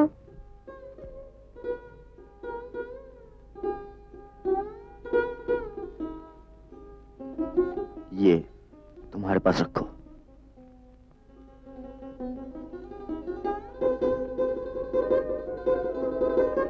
अच्छा हो मानवता आपने जो पैसे दे दिए अब मैं मकान का किराया और दवा के पैसे चुका सकूँगा। किसकी दवा तापस माँ की दवा। माँ की? क्या हुआ माँ को? टीबी। टीबी।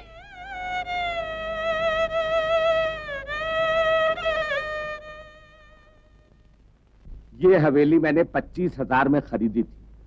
और अब कलकत्ते की एक कंपनी से चार लाख में बात पक्की हो गई। मैं सोचता हूँ कि कलकत्ते में एक शानदार मॉडर्न बंगला खरीद। लूँ कहो ये कैसा रहा दाव?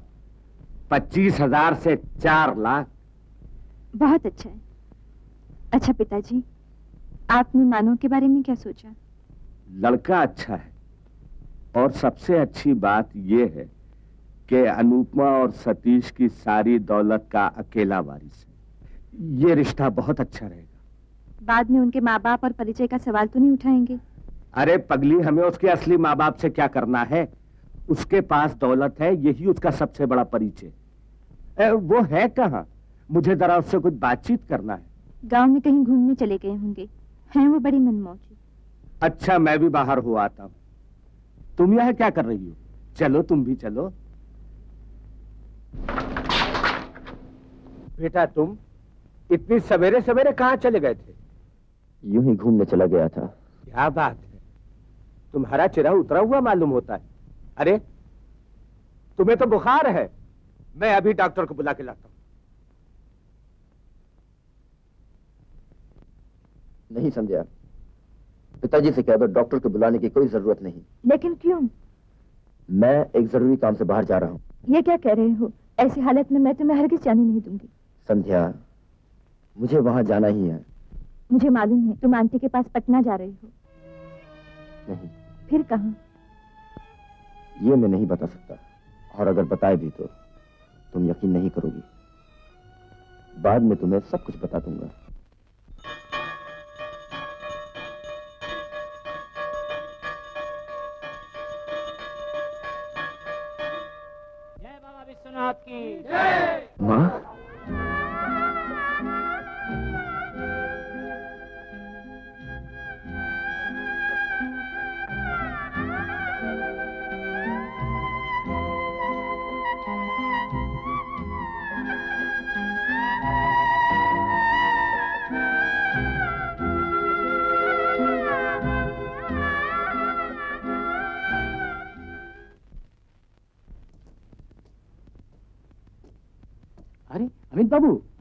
कैसे हैं आप। नमस्ते। साहब हैं? जी वो तो अभी लंदन से लौटे नहीं। नहीं लौटे? कब आएँगे? उन्हें आने में देर हो सकती है। कह गए हैं वो आपके फ़ंक्शन में नहीं आ सकेंगे। ये खबर मैंने आपके क्लब के मेंबरों को दे दी है। अच्छा।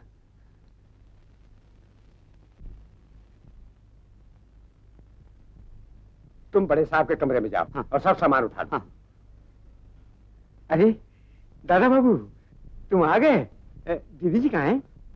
वो राजगंज में है। दादा एक गिलास पानी पिला देना। हाँ हाँ चलो। माँ आ गई है। मामुनी? हाँ। कब आई? परसों। मामुनी? मामुनी?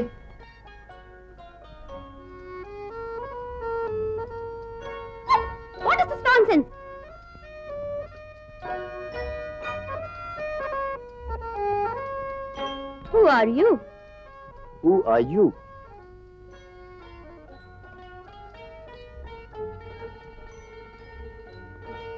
What nonsense! निताइदा ये सब कौन है? और ये क्या है? मामूली किधर है? ये सब क्या है निताइदा तुम चुप क्यों हो? मामूली किधर है? माँ माँ शायद साहब के कमरे में होगी। चलो। मामूली? मामूली। सुन रहे हो ना? वो इतना तो बर्दाश्त नहीं कर सकता कि उसका कमरा किसी और को दे दिया जाए। और तुम हो कि दो लाख रुपए उसके नाम कर रहे हो? मैं पूछती हूँ इसकी ज़रूरत क्या है? मैं ऐसा हरगिज ना होने दूँगी। अनु मैंने जो कुछ भी किया है खूब सोच बूझ कर किया है। वाह वाह वाह कुर्बान जाऊँ आपकी सोच बूझ पे। मैं उसे अच्छी तरह से जानती हूँ। वो सारी रकम पानी की तरह बहा देगा। लेकिन मैं अपना फैसला नहीं बदल सकता। मत बदलिए। मैं तो इस घर की बांधी हूँ बांधी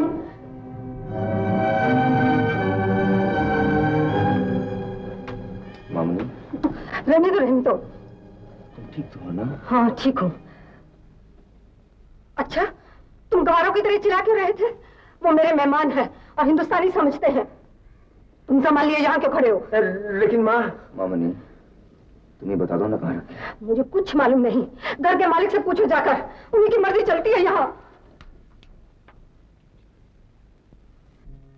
आओ बेटे, आओ। गुस्सा किस बात का? समझ में नहीं आता आज बात क्या है। आपने इतने प्यार से कभी नहीं पुकारा। घर में कदम रखते ही हर चीज़ बदली हुई नज़र आई। ताज्जुब है।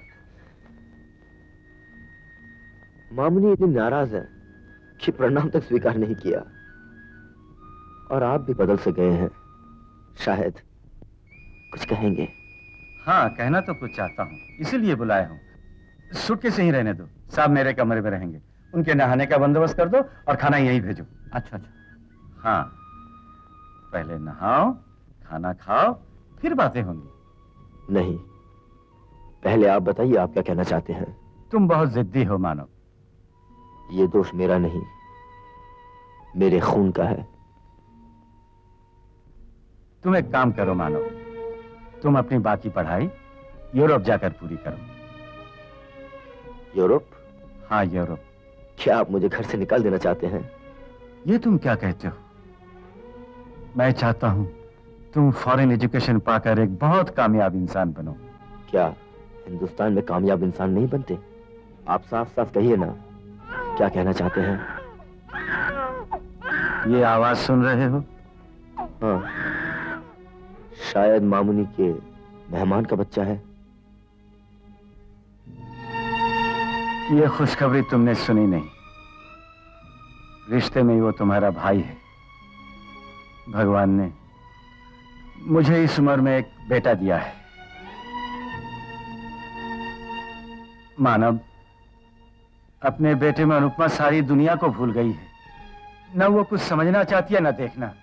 न जाने इसका अंजाम क्या होगा। अंजाम? मेरा अंजाम? फुटपाथ नहीं मानव नहीं। मैंने दो लाख रुपए तुम्हारे नाम कर दिए हैं। ये देखो दान पत्र ये देखो। दान पत्र मुझ पर बहुत बड़ा एहसान होगा। अगर आप इसे फाड़ डालें। अच्छा अब मैं चलता हूँ। क्या यहाँ से चले जाने का फैसला कर लिया? अब तो इस घर में मेरी कोई ज़रूरत ही नहीं रही। ये तुम क्या कह रहे हो मानव? बारह साल के बाद तुमने ये महसूस किया? और बारह साल के अरसे में मैंने ये कब सोचा था कि एक छोटे भाई के लिए मेरी दुनिया ही बदल जाएगी? लेकिन तुम जाओगे कहा? मैं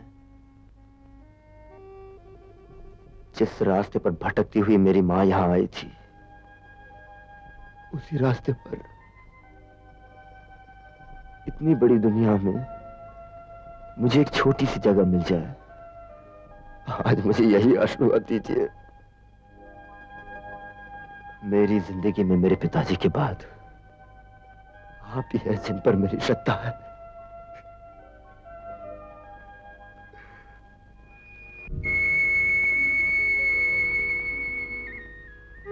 What do you want? I am sorry sister आपकी बड़ी मेहरबानी होगी अगर आप मुझे माफ़ करते हैं।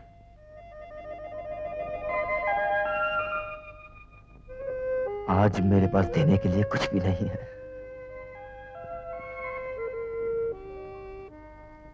Goodbye my sweet brother goodbye take away the child nurse you have no sense of time इसके दूध का वक्त हो गया जा दूध पिलाओ।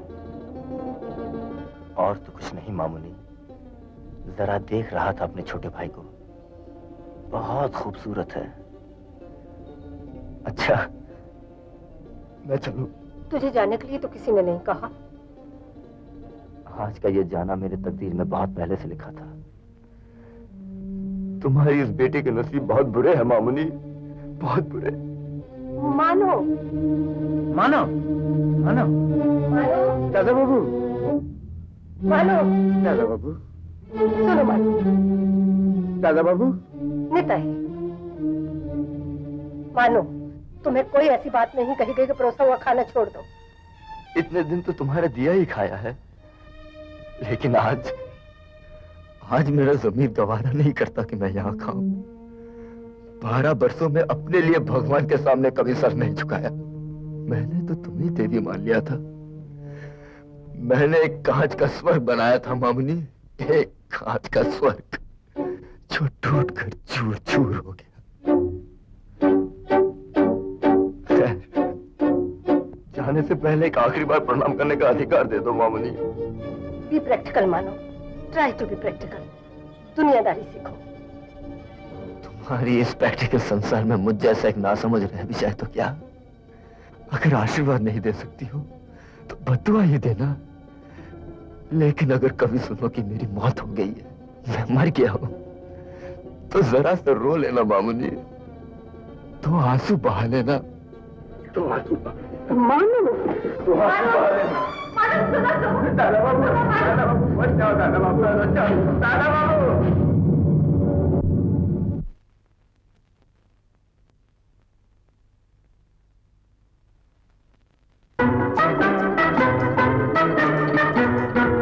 हज़ारों मील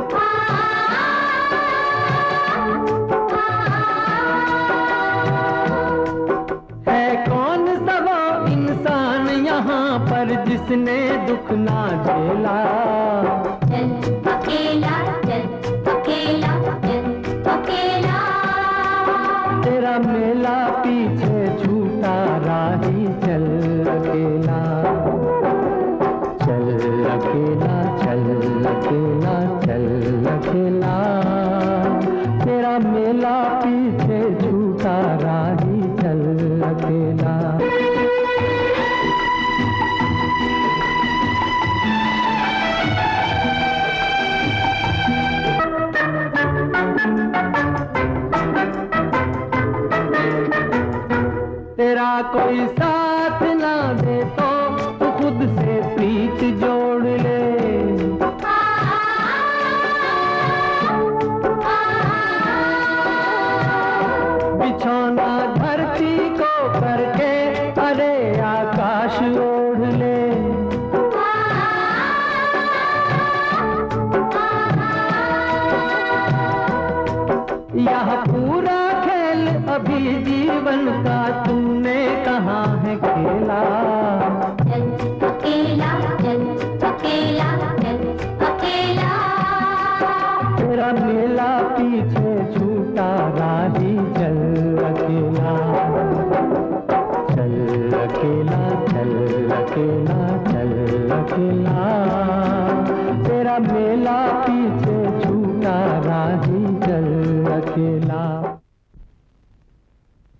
मैं ऐसा सोच भी नहीं सकती थी। मैं आंटी से जाकर ज़रूर पूछूँगी कि उन्होंने तुम्हारे साथ ऐसा सख्त बर्ताव क्यों किया। नहीं संध्या। जब मैंने बदनसीबी को ही अपना नसीब मान लिया फिर मामनी और अंकल से कहने का सवाल ही नहीं उठता। बहुत बड़ी बड़ी बातें कर रहे हो। लेकिन हो तो अनाथ अनुपमा ने सहारा दिया। उसके टुकड़ों पर पलकर तुम इतने बड़े हुए हो। बड़े घरों के टुकड़े तो पंजे से खा लिए लेकिन बड़े घरों की तहजीब नहीं आई। आइंदा बड़ी बड़ी बातें करने से पहले अपना असली परिचय क्या है ये सोच लिया करो। पिताजी। बेटी मैं तुमसे क्या कहूँ? ऐसे यतीम को घर में लाई हो कि शर्म से गर्दन छुप गई। जिस यतीम की वजह से आपकी गर्दन छुप गई है यतीम जा रहा है। ताकि आपकी झुकी हुई गर्दन फिर से तन जाए। सुन लिया बेटी।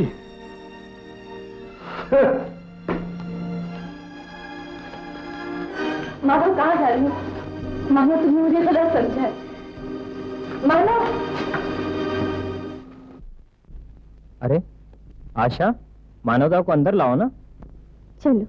जब दुनिया में मेरा कोई सहारा ना रहा तो किस्मत मुझे आशा के दरवाजे पर खींच ले गई। वो आशा, जिसकी खुददारी ने एक दिन मुझसे मदद लेने से इनकार कर दिया था। इतना घमंड, ये तुम्हें शोभा नहीं देता। मानव साहब, जरा आप अपनी तरफ़ तो देखिए, क्या इतना घमंड आपको शोभा देता है?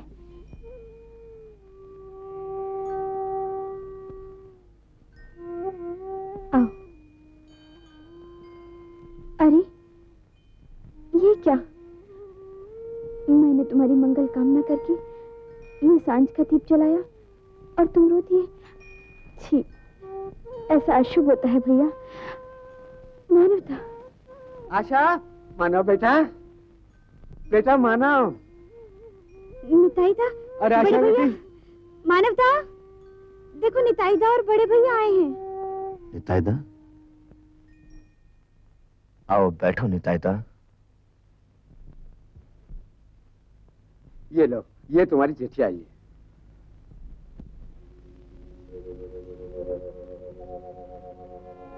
आज क्या दिन है? आज आज सोमवार। तीन दिन बीत गए। मुझे आज रात की गाड़ी से ही जाना होगा। क्या हुआ? कहाँ जाओगे? मुझे अपनी माँ का खत मिला है आशा। अपनी माँ का खत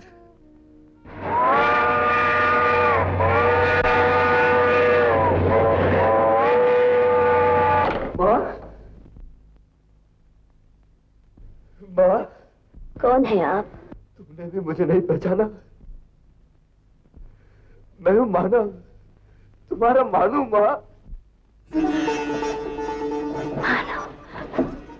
मेरा मानव। मेरा मानव। मेरा मानव। अरे ये क्या हालत बना रखी है? तेरी मामू ने ठीक है ना?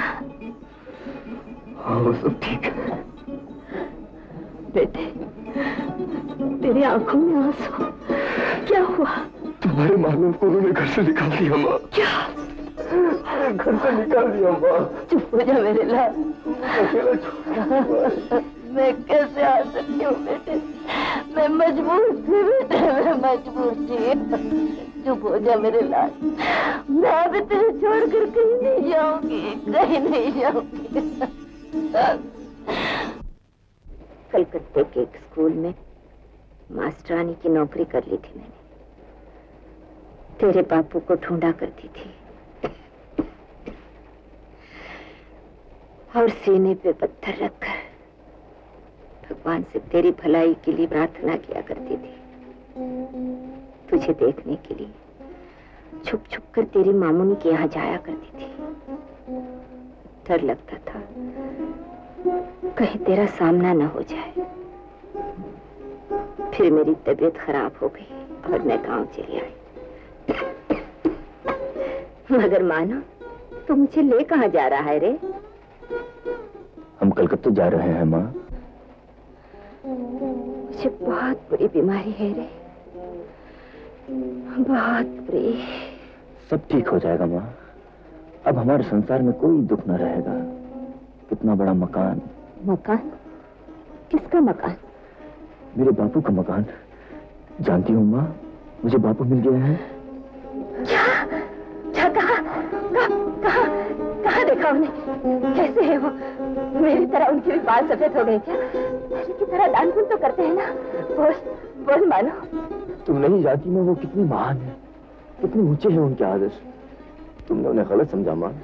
हाँ, मैंने सच मुझे गलत समझा बेटे। मानो क्या वो मुझे माफ़ कर देगी बेटे? वो हर वक्त हम दोनों की याद में खोए रहते हैं। उन्होंने तुझे भेज दिया। तो एक बार खुद नहीं आ सकते थे। वो तो आज भी नहीं जानते माँ कि तुम कहाँ हो। क्योंकि मैंने भी अपना परिचय नहीं दिया। ये क्या कह रहा है तू? हाँ माँ मैंने मामूनी को वचन दिया था कि तुम और बापू अगर मुझे मिल भी गए तो मैं अपना असली परिचय नहीं दूँगा। मगर आज उन्होंने वो बंधन तोड़कर मुझे उस वचन से मुक्ति दे दी। अब मैं तुम्हारा हाथ पकड़कर बापू के सामने जाकर कहूँगा आपने पहचाना हमें? माँ एक नई दुनिया होगी हमारी। एक नई ज़िंदगी इंसान माँ एक नया संसार। हाँ हाँ मानो। बारह साल पहले का खोया हुआ हमारा संसार फिर से आबाद हो जाएगा। मैं संध्या को अपनी बहू रानी बनाकर लाऊँगी। हमारा घर स्वर्ग बन जाएगा। स्वर्ग। आ! क्या हुआ माँ? माँ क्या हुआ तुम्हें? माँ! माँ! ये तुम्हें क्या हो गया माँ? माँ! माँ! मानो मुझे कुछ नहीं दिखाई दे रहा है। ऐसे न कहो माँ। सत्तर बांधना याद है। ऐसे न कहो माँ। हे भगवान ये मुझे क्या हो क्या हो गया माँ? मेरे मानो की नई ज़िंदगी। उनके अंतिम दर्शन के लिए। मुझे और थोड़ी देर जीने दो भगवान। भगवान। मानो। हाँ माँ हाँ, मेरे कलेजे से लग जा बेटे। ऐसा न कहो माँ ऐसा न कहो। उनसे कहना मुझे मुझे माफ़ कर दे। क्या कह रही हो माँ? हाँ। क्या कह रही हो माँ? माँ। माँ माँ।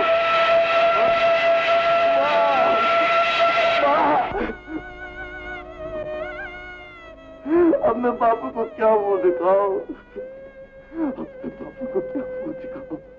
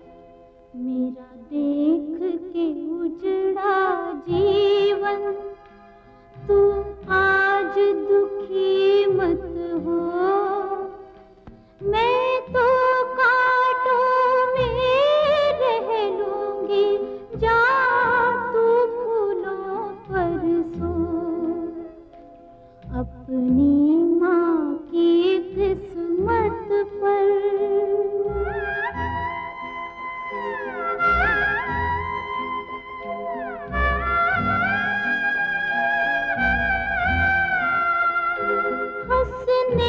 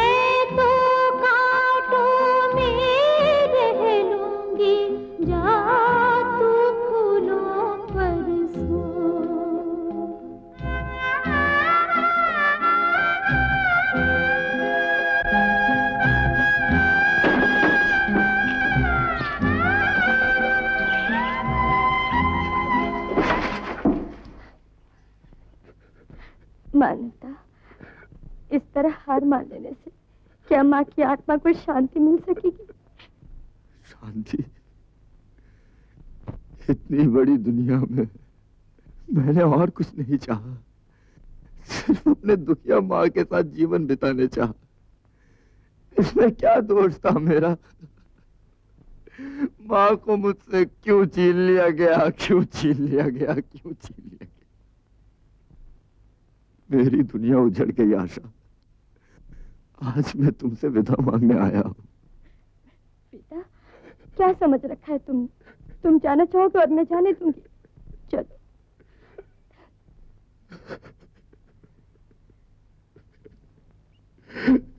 मानवदा तुम्हें संभलना होगा। तुम्हें हिम्मत से काम लेना होगा आओ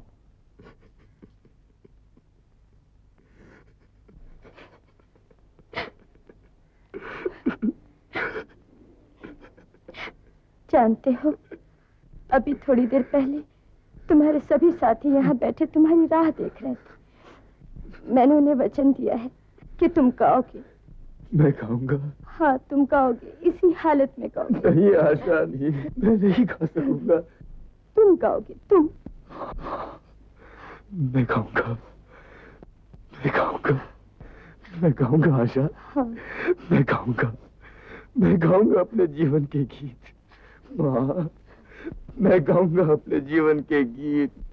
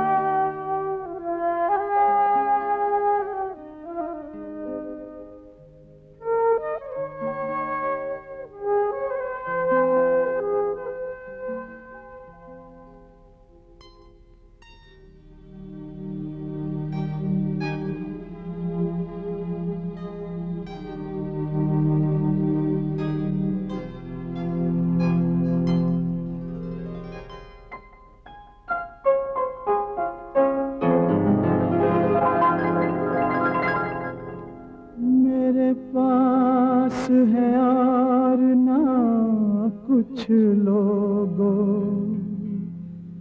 बस आँख में आँसू लाया हूँ। मैं पिता के बिना अपनी माता की चिता जला कर आया हूँ। ज्वाला से घिरी जब मेरी माँ भगवान के घर को जाती थी, तब तड़प तड़प आत्मा उसकी बेटा बेटा चिल्लाती थी। बेटा बेटा चिल्लाती थी।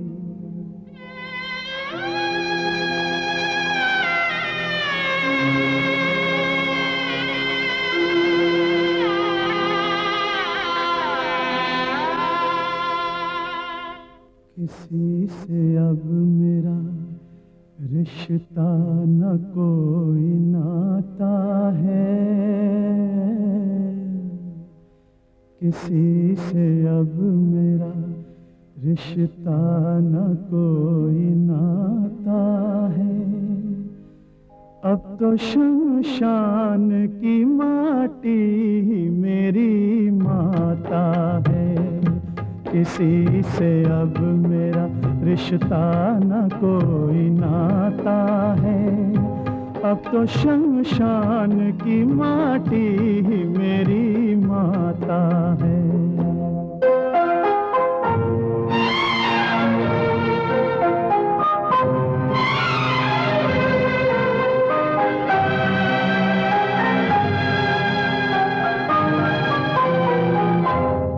सुनने वालों, सुनो कहानी मेरी। हो गई खत्म जिंदगानी मेरी। धूल मर घट किले के हाथों में। अब तो बैठा हूँ मैं अनाथों में।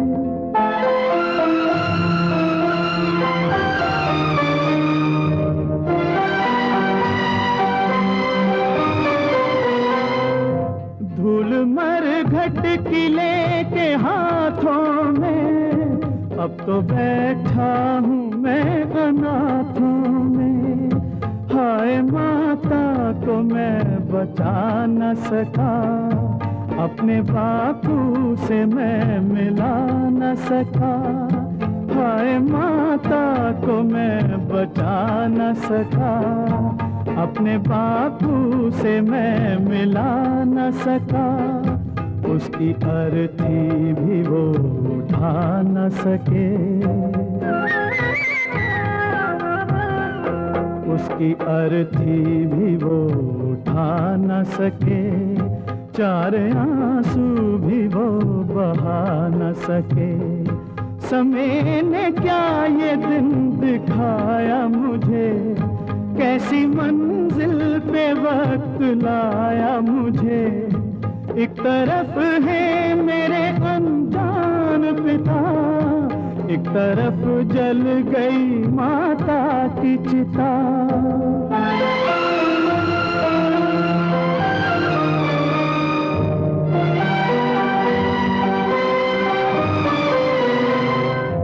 एक तरफ़ है मेरे अनजान पिता एक तरफ़ जल गई माता की चिता। अच्छा होता जो मैं भी मर जाता। इस दुखी ज़िंदगी से तर जाता। अच्छा होता जो मैं भी मर जाता। इस दुखी ज़िंदगी से तर जाता।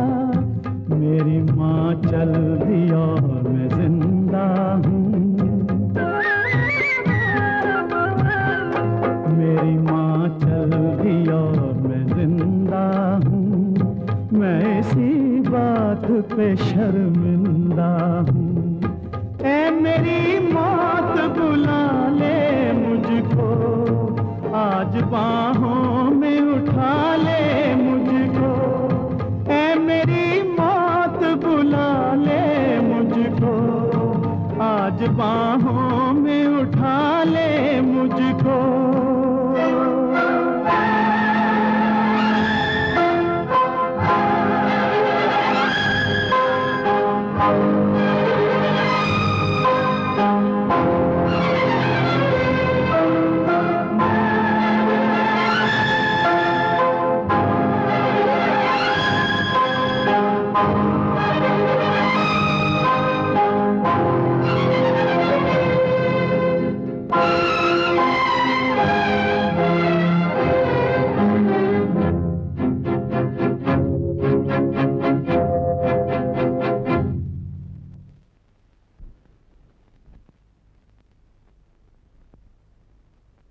माननीय सभापति, दोस्तों, लगता है जीवन के दुखों की अव्यक्त वेदना से आज इसकी आवाज़ रुक गई है, इसके टूटे हुए दिल के सुर और मेरे जीवन के अनकहे बोलों को लेकर आज आज मैं गाऊँगा। इसका अधूरा गीत अब मैं पूरा करूँगा।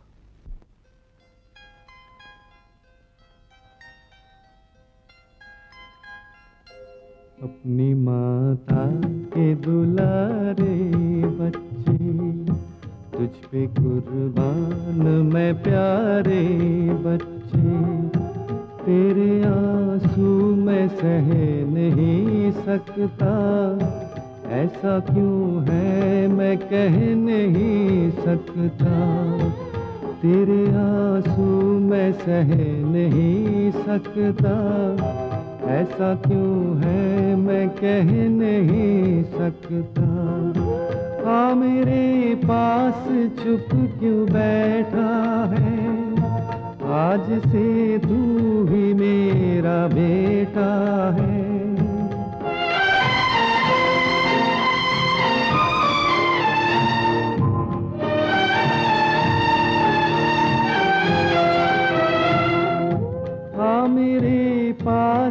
चुप क्यों बैठा है? आज से तू ही मेरा बेटा है। तू मुझे लग रहा है अपना सा। मेरा खोया हुआ एक सपना सा। मेरे हाथों में दे दे हाथ अपना। ज़िंदगी भर रहेगा साथ अपना। अकेला रो नहीं वीराने में। कोई तेरा भी है जमाने में। ये मत समझ के किसी से न तेरा नाता है। अब तो इस देश की माटी ही तेरी माता है।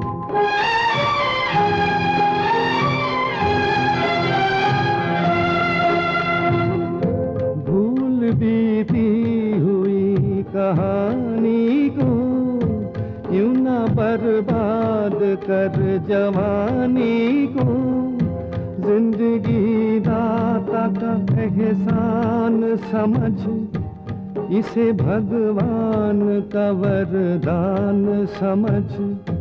तुझे जीवन यहाँ जीना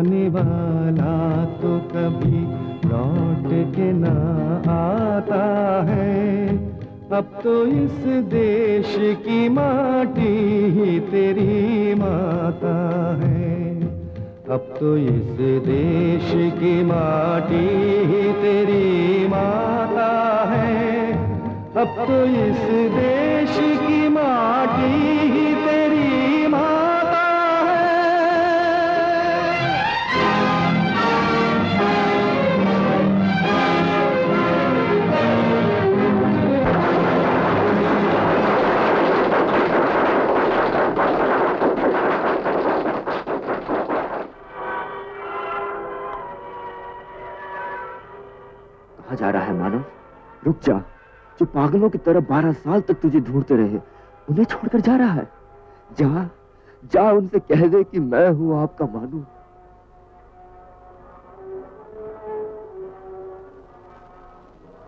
मैं उनसे कह न सका मिसेस सेन, कह न सका मैं आपका मानव हूँ बारह साल से माँ को पाने के लिए जो आज भी आस लगाए बैठे हैं, उनसे मैं कह ना सका कि आपकी सुमति की चिता मैं अपने हाथों से जलाकर आया हूँ, क्योंकि क्योंकि ये सदमा वो बर्दाश्त नहीं कर पाते। ये सदमा वो बर्दाश्त नहीं कर पाते। मैंने चाहा था पिताजी की तरह अपना दुर्भाग्य को जीत लूँ लेकिन कुछ भी तो नहीं कर पाया। मिसेस सेन मैं हर तरह नाकामयाब रहा। तो क्या अपनी नाकामियों को इन बोतलों में डुबा सकोगे मानो? मैं किसी काबिल नहीं रहा। मैं कुछ नहीं कर सकता मिसेस सेन। कौन कहता तुम कुछ नहीं कर सकती?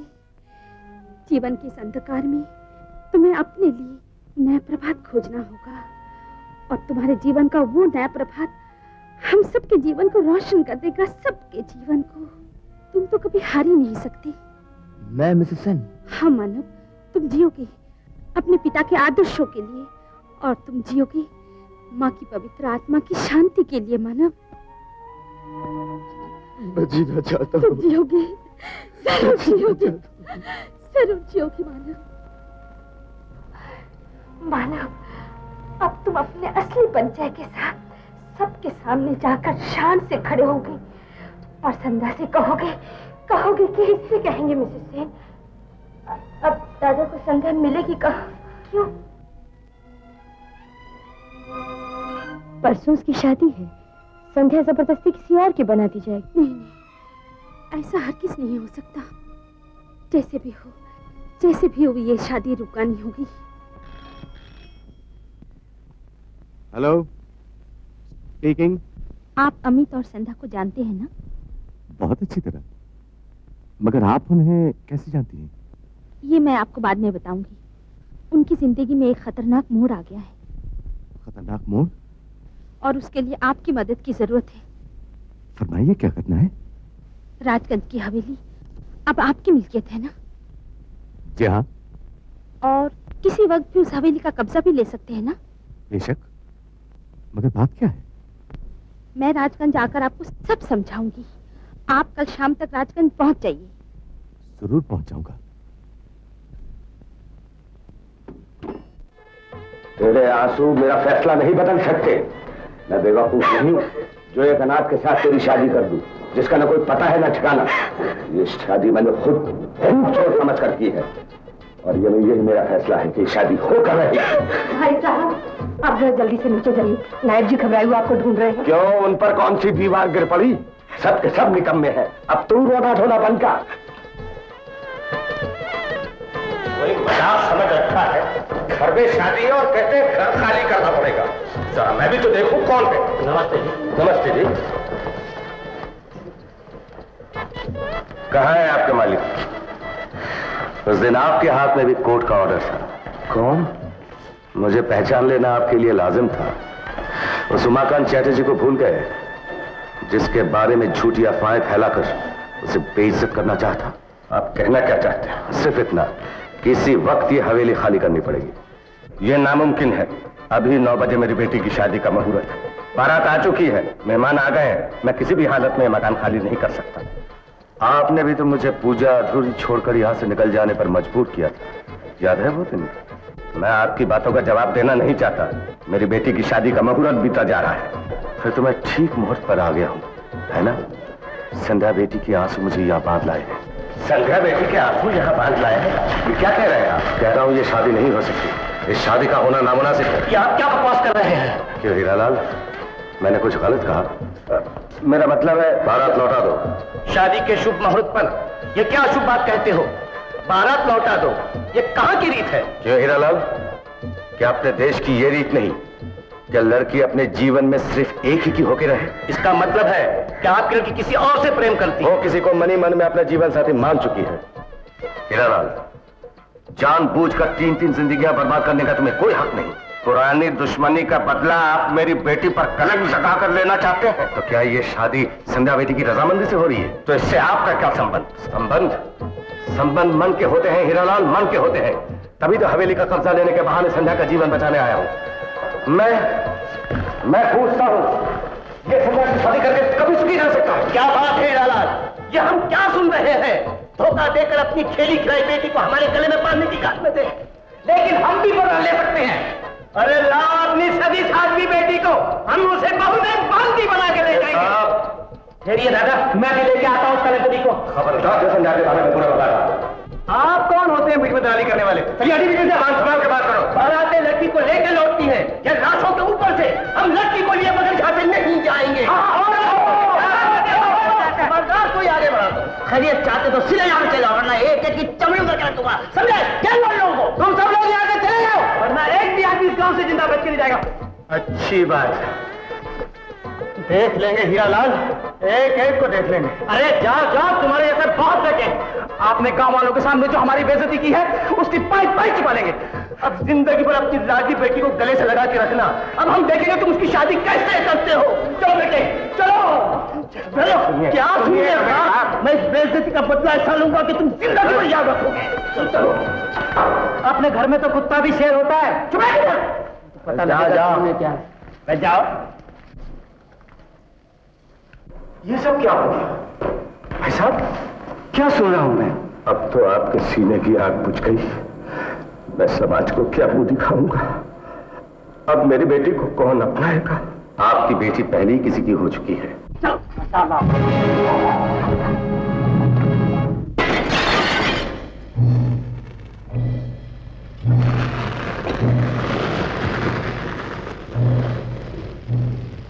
मानवता वो देखो हवेली में आग लग गई।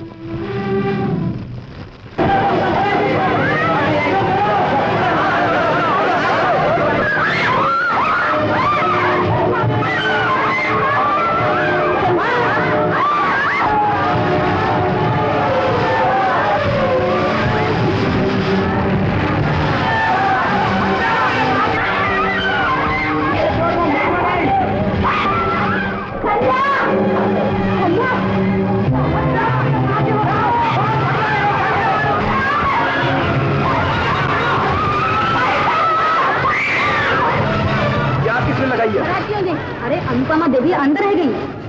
मामूनी?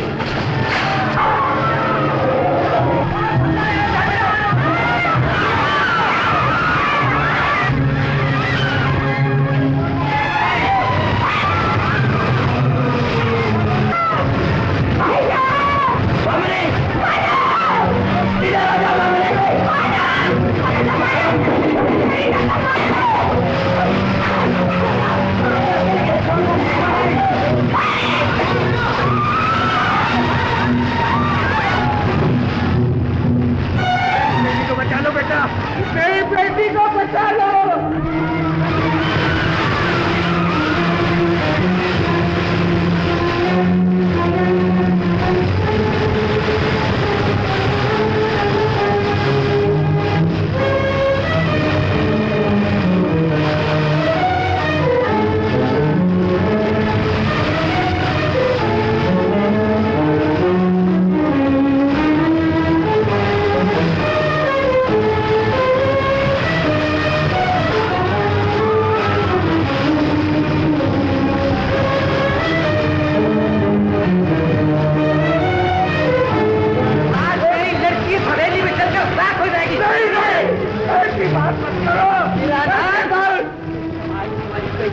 वाले कमीने हम तेरे रुक जाओ हूँ बस आइए हीरालाल हीरालाल जी यहाँ से नहीं जा सकते। ये हमारी इज़्ज़त और बिरादरी का सवाल है। जो हमें रोकेगा हम सब जान से मार डालेंगे। जगह बढ़ाने की कोशिश करो। यहाँ अगर किसी के खून की एक खून बिगड़ी याद रखिए आप सब उसके जिम्मेदार होंगे। पर हम यहाँ बहा देंगे। सारे फसाद की जड़ तुम हो। पहले तुम्हारी मरम्मत करनी पड़ेगी। लोगों ने मेरे भगवान पे वार कर अपनी मौत को पुकारा है। आज मेरे हाथ से कोई नहीं बच सकता।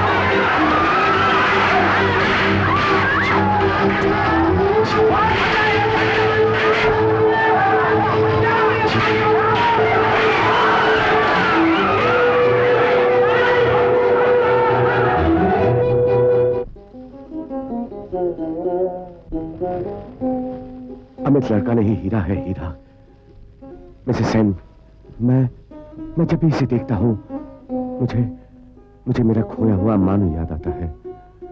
मैं मैं आपको बता नहीं सकता कि इसने इसने यहाँ यहाँ कितनी बड़ी जगह बना ली है कितनी बड़ी जगह। मगर आप नहीं जानते आप इसे इतना क्यों चाहते हैं? कौन है ये? क्या संबंध है आपका इससे? संबंध? हाँ संबंध। वो भी खून का। मिसेस सेन। हाँ उमाकांत जी यही है आपका बदनसीब बेटा मानव। मानो मेरा मानो? हाँ बाबू। मानो। मेरा मानो। बाबू। मगर मानो क्या उस दिन का गीत क्या सुमति? बाबू मैं माँ को नहीं बचा सका नहीं। आखिरी बात। वो बार बार आपसे क्षमा मांग रही थी बापू। रुक जाओ रुक जाओ। चल जाने दो इस हवेली को। ये आप क्या कह रहे हैं ठीक कह रहा हूँ सुंदरलाल। गाँव के अनगिनत लोगों का खून चूस कर गुरु से सर ऊँचा किए खड़ा था। ये पाप का महल। इसे मिट जाने दो मिट जाने दो मिट जाने दो। इस हवेली की एक एक ईंट में समाई हुई है। मेरी खोई हुई सुमति की सिसकती हुई आवाज़। सुमति,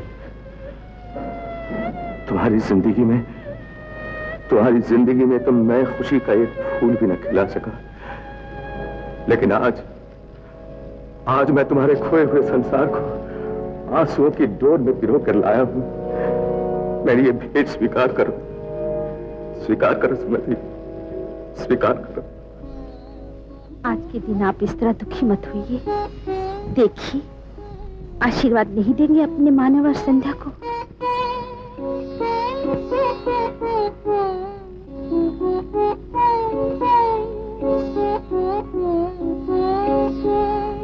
आशीर्वाद दीजिए। आशीर्वाद तो हम दोनों को मिलकर देना चाहिए था सुमति दोनों को मिलकर देना चाहिए था। लेकिन आज आज तुम मुझे छोड़कर बहुत दूर चली गई हो। बहुत दूर चली गई हो। देखो सुमति, देखो, तुम्हारे घर बहू आई है। बहू, आज आज अपने मानो और अपने संध्या को आशीर्वाद दो। आशीर्वाद दो सुमति, आशीर्वाद दो। अपनी माँ की किस्मत पर मेरे बेटे तू मत रो। मैं तो काटो में